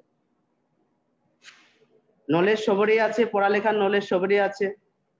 কেউ কেউ সে একই চাক্কু ব্যবহার করছে, ডাকাতি করতে, কেউ সে একই হাতুড়ি ব্যবহার করছে, অস্ত্র ব্যবহার করছে, মানুষকে মার্ডার করতে, আর সেই একই অস্ত্র কেউ ব্যবহার করছে ডাক্তার হয়ে মানুষের জীবন বাঁচাতে। এটাই হচ্ছে শিক্ষার পরিবর্তন। শিক্ষা কেমন ভাবে মানুষের মধ্যে রূপান্তর হয়ে যায়? কেউ মানুষের জীবন বাঁচিয়ে দেয়, কেউ মানুষের জীবন নিয়ে নেয়। তাহলে আমরা জীবনের আসল যেটা শিক্ষা, সেটা আমরা ঠাকুরকে ধরে, আচার্যকে ধরে, জীবনের প্রকৃত গুরুকে ধরে আমরা জানতে পারব যে আমরা জীবনে কি করে এগিয়ে চলতে হয়। জীবনের একা বেকা পথে আমরা অনেক কিছুই আমরা রাস্তায় বাধা হয়ে আসবে, সেই বাধাতে আমরা কি করে এগিয়ে যাব তা আমরা বুঝতে পারব। একটা একটা যখন একটা শিশু জন্ম নেয়, তার জন্ম নেওয়ার পর শিশুটির পালন পোষণের দায়িত্বটা এসে পড়ে তার মা বাবার উপর। তাই একটি শিশুর প্রথম শিক্ষা, শিক্ষার স্থানই হচ্ছে তার পরিয়াল। তাই পিতা মাতার প্রথম গুরুর প্রতি নিষ্ঠা থাকতে হবে। পিতামাতা যখন গুরুর প্রতি নিষ্ঠা গুরুর আদেশ পালন করা, সবকিছু পিতার মাতাকে দেখে সেই সন্তানটি শিখতে পাবে তাকে শিখাতে হবে না। তাই প্রথম দায়িত্ব হচ্ছে মা বাবার। মা বাবা হতে হবে আদর্শ আদর্শ পিতা ও আদর্শ মাতা কীভাবে হতে হয় সেটা মা বাবাকে জানতে হবে। আদেশ দিয়ে শেখানো হচ্ছে উদাহরণ হওয়া বেশি ভালো। তখনই আমরা জীবনে কষ্ট করতে হবে না ছেলে মেয়েদেরকে মানুষ করতে। একদিন একজন মানুষ গিয়েছেন ঠাকুরের কাছে যে, আমার ছেলেকে, আমার ছেলে তো অনেক আমাকে কষ্ট দেয়। ঠাকুর জিজ্ঞাসা করলেন যে, আপনার ছেলেকে, ছেলে কীভাবে কষ্ট দেন? যে, আমার ছেলেকে, আপনার ছেলেকে কি বানিয়েছেন? যে, আমার ছেলেকে তো আমি ডাক্তার বানিয়েছি। তখন ঠাকুর বললেন যে পরম পিতা তো আপনার ছেলের, আপনার মনোবাঞ্ছা পূর্ণ করেছেন। আপনি ওনাকে ডাক্তার বানিয়ে চেয়েছিলেন, সে ডাক্তার হয়েছে। তাতে আপনার এখন চিন্তা কিসের? তখন তিনি বললেন যে, তাকে তো আমি ডাক্তার বানিয়েছি ঠিকই, কিন্তু সে এখন আমার আমার নিজেরই কথা শুনে না, সে আমাদেরকে দেখাশোনা করে না। তখন ঠাকুর বললেন যে, আপনি যা চেয়েছিলেন তাই হয়েছে, আপনি যে বলেছিলেন তাকে ডাক্তার বানাবেন, সে ডাক্তার হয়েছে। কিন্তু আপনি কি কোনোদিন চেয়েছিলেন কি তাকে একটি ভালো মানুষ বানাবো? যদি মানা, মানুষ বানাতে চেতেন, তাহলে আপনার ছেলেকে নিয়ে আপনি কোনোদিনও চিন্তা করতে হতো না। তাই আমরা চাওয়ার বেলায় ভুল করি। চাওয়ার বেলায় শুধু নিজের নিজের ভেবে চাই। চাওয়ার বেলায় সবসময় চেতে হয় ইষ্ট নিষ্ঠা ইষ্ট স্বার্থার্থে আমরা যেতে হয়। তা যখনই আমরা না করি, তখনই আমাদের হয়ে যায় ভুল।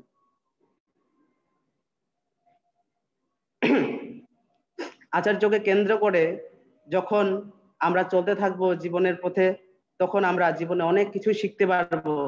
আচার্য তিনি, যিনি আচরণ করে দেখিয়ে দেন, আচরণ করে আমাদেরকে দেখিয়ে দেন কীভাবে কীভাবে জীবনে চলতে হয়। একটি আদর্শ পুত্র আমি কি করে হব? একজন আদর্শ পিতা কি করে হব? একজন আদর্শ মা কি করে হব? সবকিছুই আমরা জেনে যাই ঠাকুরকে ধরে। জীবনের বড় শিক্ষাই হচ্ছে এটা। শুধু পড়ালেখা করে শুধু বাহ্যিক বিকাশ করলাম, আভ্যন্তরীণ বিকাশ আমার হলো না, তখন কিন্তু আমার সেই শিক্ষাটা হলো না। একটি বালকের যখন আরেকটি বিকাশ আরম্ভ হয়, সে যখন একটু আরেকটু বড় হয়ে আসে, সে ঘরের থেকে একটু বাইরে যায়, তখন তার শুরু হয় একটি বাইরের পরিস্থিতির একটি পরিস্থিতি থেকে সে অনেক কিছু শিখতে আরম্ভ করে। সে বন্ধু তৈরি করে, সে বন্ধুর সাথে বন্ধুত্ব করে, অনেক নতুন নতুন মানুষের সাথে দেখাশোনা হয় তার। আমাদের দেখতে হবে, পিতামাতার খেয়াল রাখতে হবে যে সে কেমন বন্ধুর সাথে বন্ধুত্ব করছে, তার বন্ধু কেমন। সে কেমন পরিস্থিতিতে যাচ্ছে, সেটা খেয়াল রাখতে হবে আমাদের। তাই আমরা, যারা যারা আমরা ঠাকুরের দীক্ষা নিয়েছি, আমরা সবাই জানি সৎসঙ্গ একটি, এমন একটি প্ল্যাটফর্ম যাকে বলা হয়েছে ম্যান মেকিং ফ্যাক্টরি এখানে এলে আমরা জীবনের অনেকগুলি, আমাদের নিজের দুষ, ত্রুটি সবকিছু দেখতে পাই। ঠাকুরের মধ্যে আমরা আয়না দেখলে কি যেমন ভাবে আমরা নিজেকে সুন্দর করতে পারি, নিজেকে, নিজের ড্রেসটা কীরকম খারাপ হয়েছে, নিজের মুখে কিছু লেগে আছে নাকি, আমরা আয়নাতে দেখতে পারি, কিন্তু আমাদের জীবনটা কত সুন্দর হচ্ছে, আমার জীবনটাতে আমি কিছু ভুল করছি নাকি, সেটা আমি কোথায় দেখব, সেটা আমি কোন আয়নাটিতে দেখব? আর সেই আয়নাটি হচ্ছে ঠাকুর, সেই আয়নাটি হচ্ছে গুরু, সেই আয়নাটি হচ্ছে আচার্যদেব। যখন আচার্যদেবের সামনে যাই, তখন আমরা নিজের ভুল গুটি, ভুলগুলি দেখতে পাই। তাই আমাদের জীবনে আচার্যকে মেনে চলা খুবই দরকার।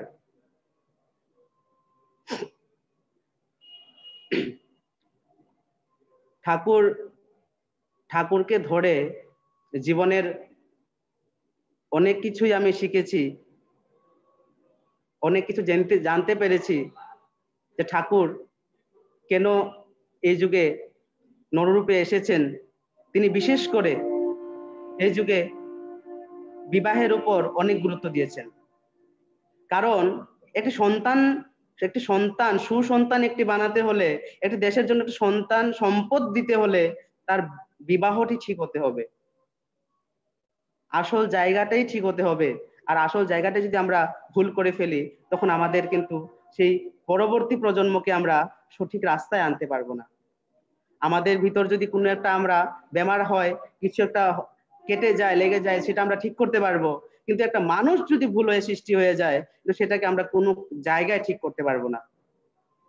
এমন কোনো জায়গা নেই যেখানে নিয়ে সেই মানুষটিকে আমরা পুনর ঠিক করা যেতে পারে। তাই অনেক, একটি উদাহরণ দিচ্ছি। আমার অনেক পরিচিত একজন মানুষ, তিনি দীক্ষা নেননি। আমার কলিগ একজন টিচার তিনি অনেক পড়াশোনা করেছেন, পড়াশোনা করে, করেও তিনি একটি ভুল করে ফেললেন জীবনে। তার প্রতিলোম একটি মেয়েকে তিনি ভালোবেসেন অনেক দিন থেকে আমি সেই জিনিসটা দেখছি আর যতটুকু পারি ঠাকুরের কথাগুলো, ঠাকুরের নিয়মগুলো মানুষকে বলার চেষ্টা করি। সেই দাদাটি, সেই টিচারটি অনেক মানে অনেক একটু অন্য ধরনের মানে সব সময় রাগান্বিত হয়ে থাকেন। তাই কারোর সাথে মেলামেশা করে না। একটা সময় আমি ওনার সাথে কথা বলছিলাম, আর ওনার সাথে কথা বলতে বলতে আমি বলছিলাম যে, দাদা, একটা কথা ছিল আপনার সাথে। বলল, কি ভাই? বলো। তা আমি বললাম যে, আপনি যে স্কুলে ইংরেজি পড়ান কোন একটা ছাত্র যদি ইংরাজিতে কোনো কিছু জানতে হয়, কোনো গ্রামার যদি জানতে হয় তখন সে আপনার কাছে আসতে হবে কিনা? বলেছে হ্যাঁ আসতে হবে। আর যদি না আসে, তখন তো সে মেট্রিকে ফেল করবে।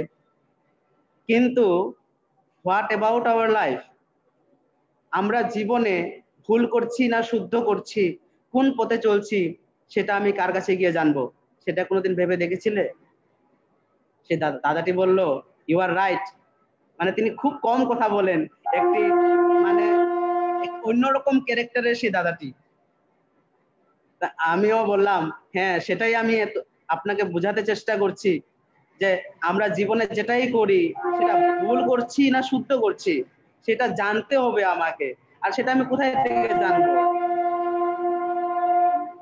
আমরা একটি ভালো, আমরা সবাই জানি একটি ভালো গরু কি করে তৈরি করতে হয় একটি ভালো কুকুর ছানা কি করে তৈরি করতে হয়, তার জন্য আমরা অনেক কষ্ট করি। যে এই এই প্রসেসে গেলে আমরা একটি ভালো পেডিগ্রি ডগ পাবো, এটা করলে আমরা জার্সি গাই পাবো। কিন্তু কি করলে আমরা একটি ভালো মানুষ তৈরি করতে পারব, সেটাই আমরা ভাবি না। আমরা ভাবি যে জীবনটা তো খুব বেশি দিনের না, কদিনের জীবন বেঁচে নেই। কিন্তু এই একটা কথা আমরা মনে রাখা দরকার একটি হিন্দি সিনেমায় আমি একটা কথা শুনেছিলাম হ্যাঁ যে জিন্দিগি লম্বি নেহি দোস্ত, জিন্দিগি বাড়ি হনি চাহিয়ে। সেই কথাটির অর্থ হলো যে কেউ একশো বছর বাঁচলো, কিন্তু সে সুন্দর করে বাঁচলো না। কিন্তু কেউ যদি চল্লিশ বছরও বাঁচে, সে যদি সুন্দর করে বাঁচে, তার মাধ্যম দিয়ে যদি সংসারে, পৃথিবীতে একটি সম্পদ আসে, তার জীবনটি খুব বড়। জীবনটা অনেক লম্বা হলো সুন্দর হলো না, ঠাকুরের মনের মতন হলো না, তখনই কিন্তু আমাদের চলার পথে একটি খুঁত রয়ে যাবে। আর সেই চলার পথটি সুন্দর করার জন্যই আমাদেরকে আচার্য পরম্পরাকে মানতে হবে আচার্য দেবের সাথে সঙ্গ করতে হবে।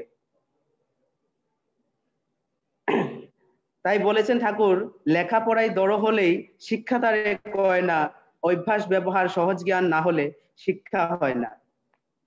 যে লেখাপড়া খুব আছে, লেখাপড়া খুব জানি, আমাদের নবপ্রজন্মের এটি খুব একটি অহংকারের বিষয়, আমরা খুব লেখাপড়া জানি, আমরা নতুন যুগের নতুন প্রজন্মের মানুষ।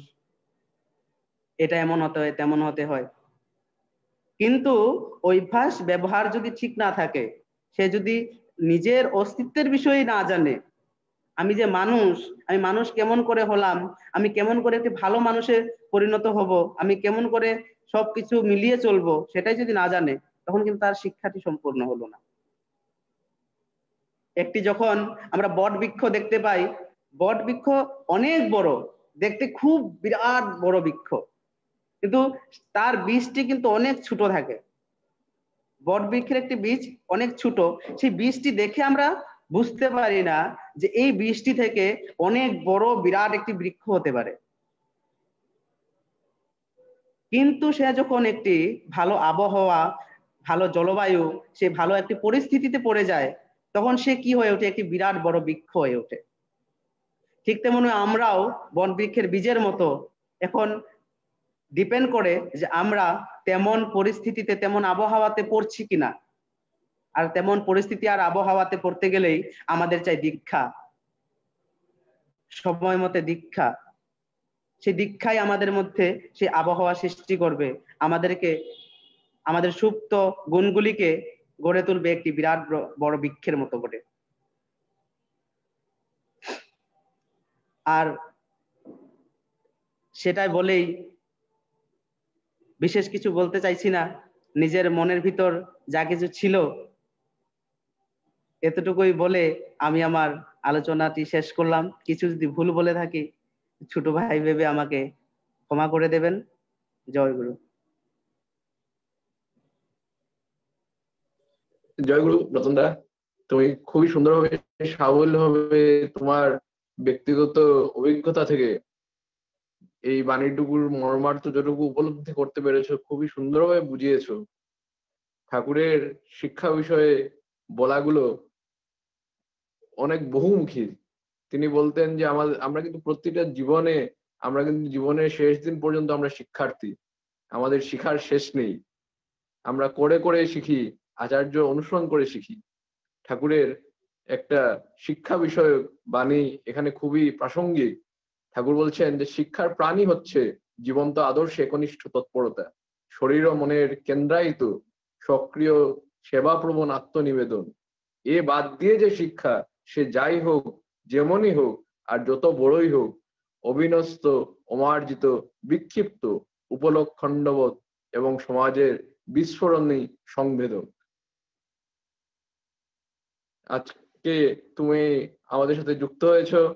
তোমার সুস্থ, স্বস্থ, দীর্ঘায়ু জীবন পরম পিতার কাছে প্রার্থনা করি এইভাবেই যুক্ত হয়ে থাকো। আরও ঠাকুরকে নিয়ে চলো, যাজন করো, যজন করো এইবার আমরা আমাদের সৎসঙ্গের শেষ পর্যায়ে উপস্থিত। এবার আমাদের জয়রাধে কীর্তন করবেন গুয়াহাটি থেকে মানবেন্দ্র দা। মানবেন্দ্র দাকে আমি অনুরোধ করছি আনমিউট করে জয়রাধে পরিবেশন করার জন্য। মানবেন্দ্র দা। সবাইকে জয় গুরু।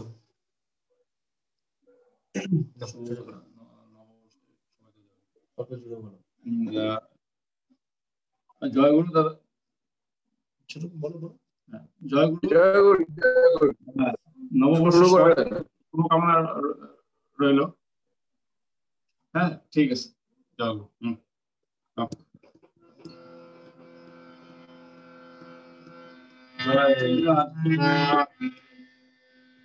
রাধে কৃষ্ণ কৃষ্ণ হরে হরে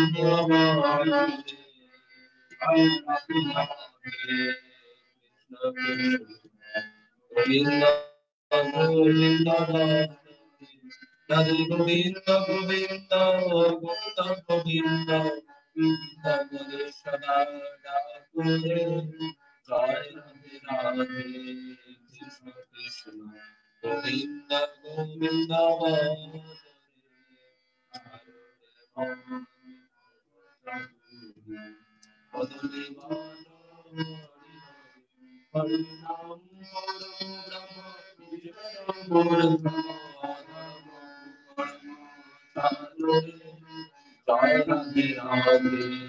কৃষ্ণ গোবিন্দ গোবিন্দ জয়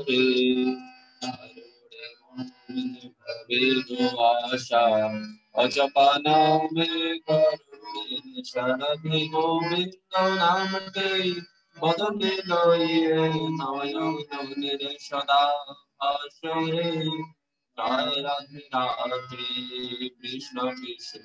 গোবিন্দ গোবিন্দ বন্দরে রাধে গোবিন্দ গোবিন্দ গোবিন্দ গোবিন্দ গোবিন্দ বলে সদা ডাকরে। জয় রাধে রাধে কৃষ্ণ কৃষ্ণ। গোবিন্দ গোবিন্দ বন্দরে ছাড়ে মন কপট চাতুরি। বদলে মান হরি হরি হরি বল হরি বল হরি বল হরি বল হরি বল হরি বল হরি বল হরি বল হরি বল হরি বল হরি বল হরি বল হরি বল হরি বল হরি বল হরের নাম পরম ব্রহ্ম জীবেরা মূল ধর্ম অধর্ম কর্ম ছাড়ে জয় রাধে রাধে কৃষ্ণ কৃষ্ণ গোবিন্দ গোবিন্দ বদরে।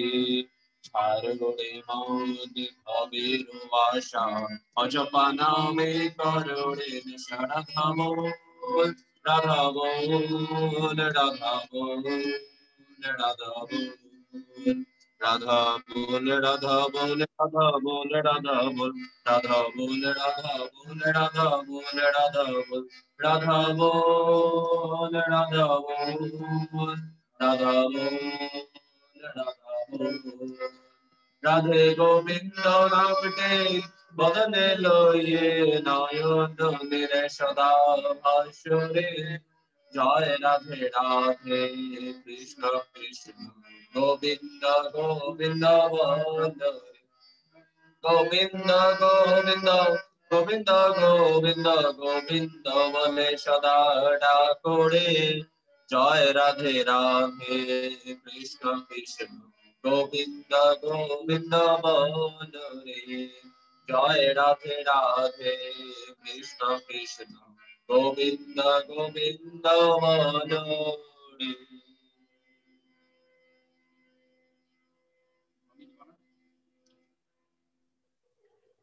জয়গুরু এবার ধ্বনি দেবেন আমাদের কৌস্তবদা। জয় গুরু জয়। বন্দে পুরুষোত্তমম।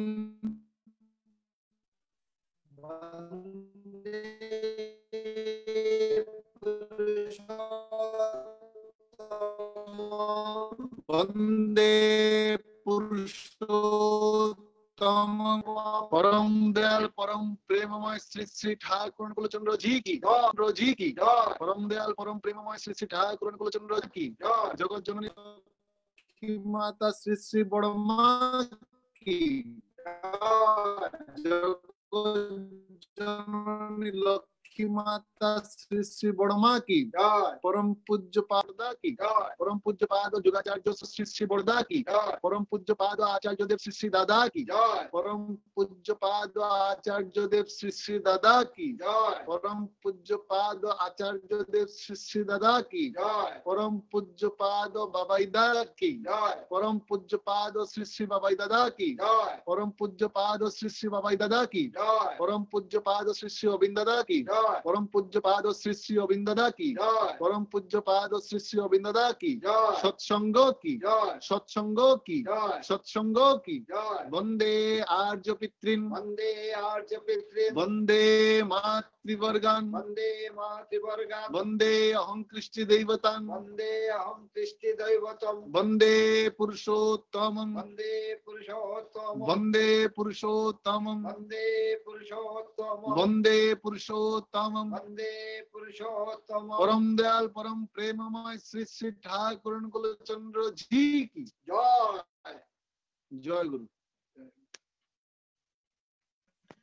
जय गुरु। আজকের আমাদের এই সান্ধ্য সৎসঙ্গ এখানেই সমাপ্ত। সবাই ভালো থাকবেন। এই নববর্ষ আমাদের প্রিয় ব্রহ্মের কাছে প্রার্থনা যেন এইবার আমরা সবাই গিয়ে আবার আমাদের ইষ্টধামে উপস্থিত হতে পারি। গত বছর আমরা অনেকেই যেতে পারিনি। এখনও পরিস্থিতিটা খুব একটা স্বাভাবিক হয়নি। পরম পিতার কাছে প্রার্থনা, আমরা যেন এইবার সবাই একসাথে আবার সেই আমাদের ইষ্টধামে উপস্থিত হতে পারি। প্রতি প্রত্যেকের মঙ্গল কামনা করছি।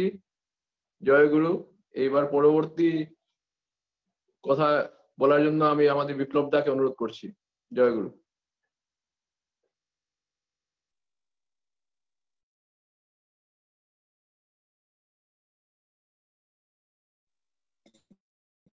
বিপ্লব দা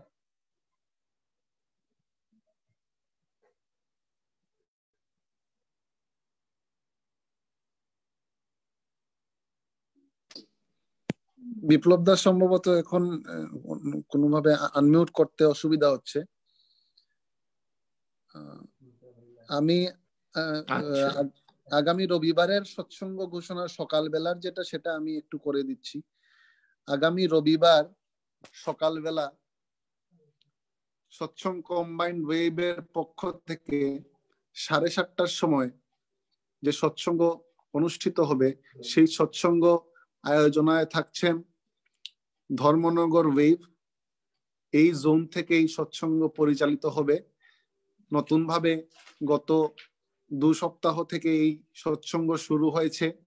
সকালবেলা সাড়ে সাত ঘটিকার সময় সেই সৎসঙ্গ শুরু হয়।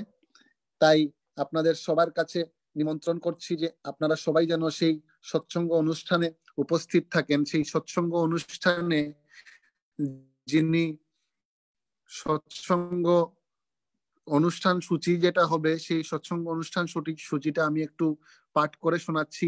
প্রথমে যিনি প্রার্থনা করবেন আমাদের শ্রদ্ধেয় শ্রী নেপাল রয়দা শিলচর থেকে সত্যানুসরণ পাঠ করবেন শ্রী পৃথ্বীচন্দ্র মজুমদার দা গুয়াহাটি থেকে।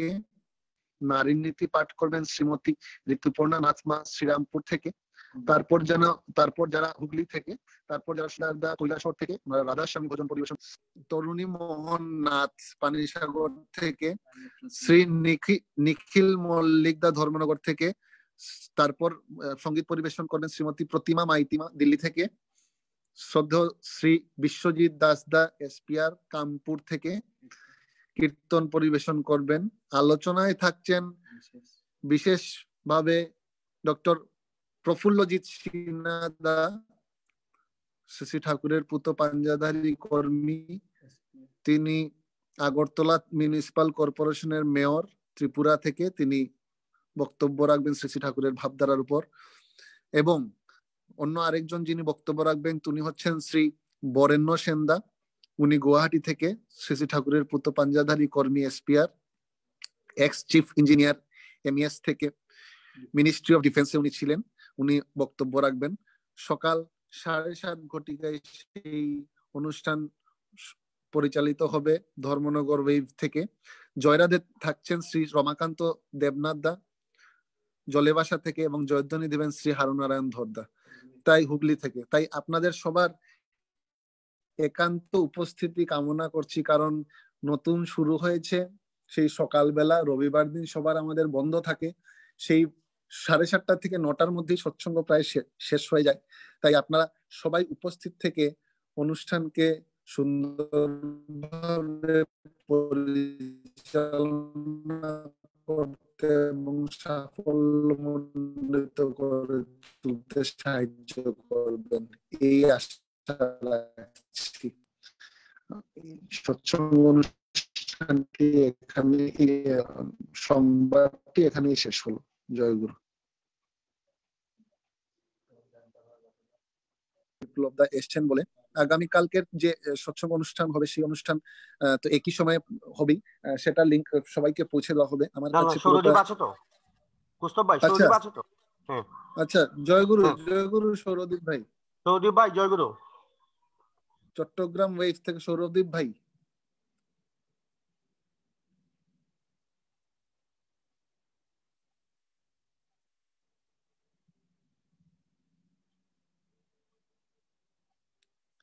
জয়গুরু সৌরদীপ ভাই।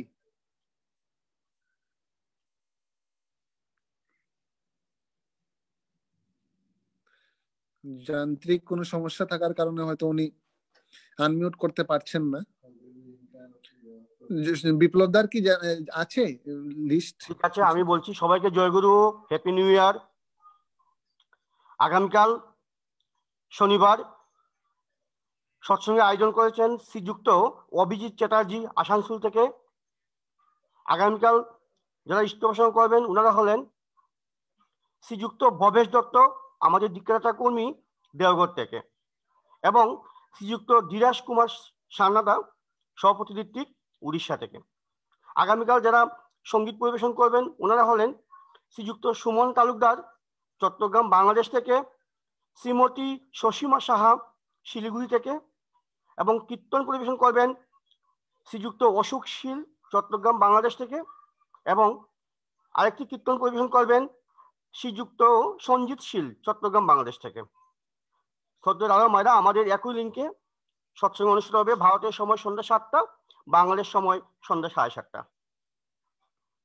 আজকে বছরের ইংরেজি নববর্ষের প্রথম দিন, তাই আমরা সৎসঙ্গের পর আজকে আপনারা জানেন, প্রত্যেক জায়গায় সৎসঙ্গ হচ্ছে। তাই আমরা, আমাদের টাইম ছিল বাংলাদেশ টাইম সাড়ে নয়টা ইন্ডিয়ান টাইম নয়টা, ঠিক ওই সময়ে আমরা একটা সঙ্গীতের ডালি নিয়ে আমরা আসব। আপনারা যারা অবসর থাকবেন জয়েন করবেন আবার, এবং ওটা লাইভও হবে। সেখানে গান, সংগীত নিবেদন করবেন। দিল্লি, ভারত থেকে সন্দীপ মহান্তি, কলকাতা, ভারত থেকে কুমারী মনসিতা মণ্ডল, ধর্মনগর থেকে শ্রীযুক্ত কুস্তব নাগ চৌধুরী, এবং বাংলাদেশ সিলেট থেকে দেবদূতি দল দেবু। এখন সবাই ব্যস্ত আছে কারণ সবারই প্রোগ্রাম আছে এখন চলছে। তো আমরা সেই প্রোগ্রামটা আরও আধা ঘণ্টা পরে শুরু করব। সবাইকে জয়গুরু এখন সবাই জয়গুরু দিতে পারবেন। জয়গুরু সবাইকে। জয় গুরু সবাইকে। জয় গুরু। জয় গুরু। সবাইকে। জয় গুরু। জয় গুরু জয়গুরু জয়গুরু সবাইকে জয় গুরু। জয়গুরু সবাইকে জয় গুরু। হ্যাপি নিউ ইয়ার সবাইকে জয় গুরু। হ্যাপি নিউ ইয়ার সবাইকে জয় গুরু। সবাইকে জয় গুরু। সবাই সুন্দরভাবে থাকুক। সবাই ভালো শুভেচ্ছা অভিনন্দন সবাইকে। ভাই ঠাকুরের কাছে প্রার্থনা জানাই জয় গুরু। জয় গুরু। জয় গুরু। সবাই ভিডিও অন করে কথা বলেন না কেন? সেটা আমরা দেখতে পারি এই নব নববর্ষের একটা রেকর্ড নাই। এই যে আমার সদ্য দাদা উনার উনার কি রেকর্ড আছে? এতদিন ভিডিও অফ করে বসছেন রেকর্ড নাই। হ্যাঁ তাহলে এরকম আমরা কেন দেখতে শিখি না? কি বলেন? আমার ফটো যায় না হলে রে। হ্যাঁ? ললিতা আনমিট করেন। আপনার কি আনমিট হচ্ছে না? এই তো হলো। হ্যাঁ একটা সুসংবাদ সুসংবাদ পেলাম এখন। হ্যাঁ বলুন। আমার ছেলের একটা পেটেন্ট হয়েছে এই তার যে প্রজেক্ট আর কি মাত্র খবর পেলাম। সবাই তার জন্য আশীর্বাদ করবেন। বাহ। ভালো। জয় গুরু ঠাকুরের প্রার্থনা করি জয় গুরু জয় গুরু। জয় জয় গুরু। জয় গুরু। জয় গুরু জয় গুরু। ঠাকুরের চরণে ঈশ্বর ভবিষ্যৎ সুদীর্ঘ জীবন কামনা করি। আরও থেকে আরও তোর হোক। আপনার ছেলে। ছেলের জন্য এত আশীর্বাদ করবেন। এখন এই মাত্র খবর পেলাম তার পেটেন্ট সে পেয়ে গেছে আরকি প্রজেক্টের একটা কন্ট্রোল হুইলচেয়ার বানিয়েছিল ইয়ের জন্য এই করোনার জন্য। এটা সেন্ট্রাল গভর্নমেন্টের একটা প্যাটার্ন প্যাটার্ন রাইট পেয়েছে আর কি। জন্য কাছে প্রার্থনা করবেন সবাই। জয় গুরু। জয় গুরু। নীতিশ দা জয় গুরু জয় গুরু জয় গুরু জয় গুরু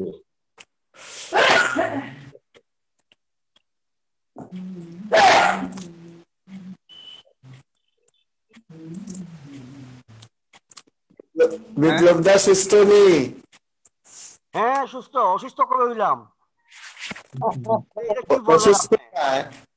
মানে শারীরিক যে একটা ডিপ্রেশন আর কি একটা ডিপ্রেশন থাকে খুব মিনিমাম আর যারা ঠাকুরকে নিয়ে থাকে।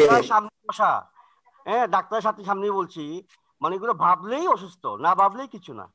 একদম ঠিক। একদম ঠিক একদম ঠিক। একদম ঠিক। বড় মনের দুঃখটাই বড়। মন ঠিক থাকলে ওষুধ কিচ্ছু না। সেটাই। দাদা পুরা ভাবের ঘুঘু ভক্তি বাগিস, কর্মহারা ধর্ম প্রাণ। আজ গুবিতে আস্থা শুধু জাহান্নামেই তাহার স্থান। ধর্ম এবং কর্ম দুটের সমন্বয়, মন এবং শরীর। শরীরকে মনকে এফেক্ট করে, আবার মনও শরীরকে এফেক্ট করে। সেই জন্য দুটোর সমন্বয় যখনই হয়ে যায়, তখন মানুষ নিশ্চয় শারীরিক, মানসিক সব দিক দিয়ে সুস্থ থাকে। সেই জন্য ললিতদাও জানবেন, অন্যরাও জানবেন। স্বাস্থ্যের ডেফিনেশন ডাক্তারদের দেওয়া হয়েছে বিজ্ঞান থেকে যে physical mental social and spiritual state এই চারটে অবস্থার উপর নির্ভর করে যে স্বাস্থ্যটা। চারটারই সমন্বয় দরকার। আমার শরীর ভালো ধরুন মন ভালো হাসি খুশি করি। আবার যদি শরীর মন আবার সামাজিক দিক, পারিবারিক দিক যদি ঠিক না থাকে, আমার নিজের শরীর মন ভালো থাকলে আমি কিন্তু ভালো থাকতে পারব না। ছেলে, মেয়ে, স্ত্রী, অন্যরা যদি সেই ইষ্টমুখীন না হয়। আবার এইসব ইষ্টমুখীন হলো, কিন্তু সমাজ যদি না হয়, তাই বলা হয়েছে যে সামাজিক দিকটাও দরকার। আর লাস্ট বলেছেন আসল যেটা, যে স্পিরিচুয়াল স্টেট যার জন্য আমরা এখানে মিলিত হয়েছি। সাময়িক আনন্দ করলাম, ধরুন। কিন্তু বাড়িতে গিয়ে যদি সেই অবস্থাটা সুঅবস্থা বা স্বাস্থ্য সুস্থ অবস্থা বাড়ির না থাকে, তাহলে যাওয়ার পরই কিন্তু আমার মন বদলে যাবে।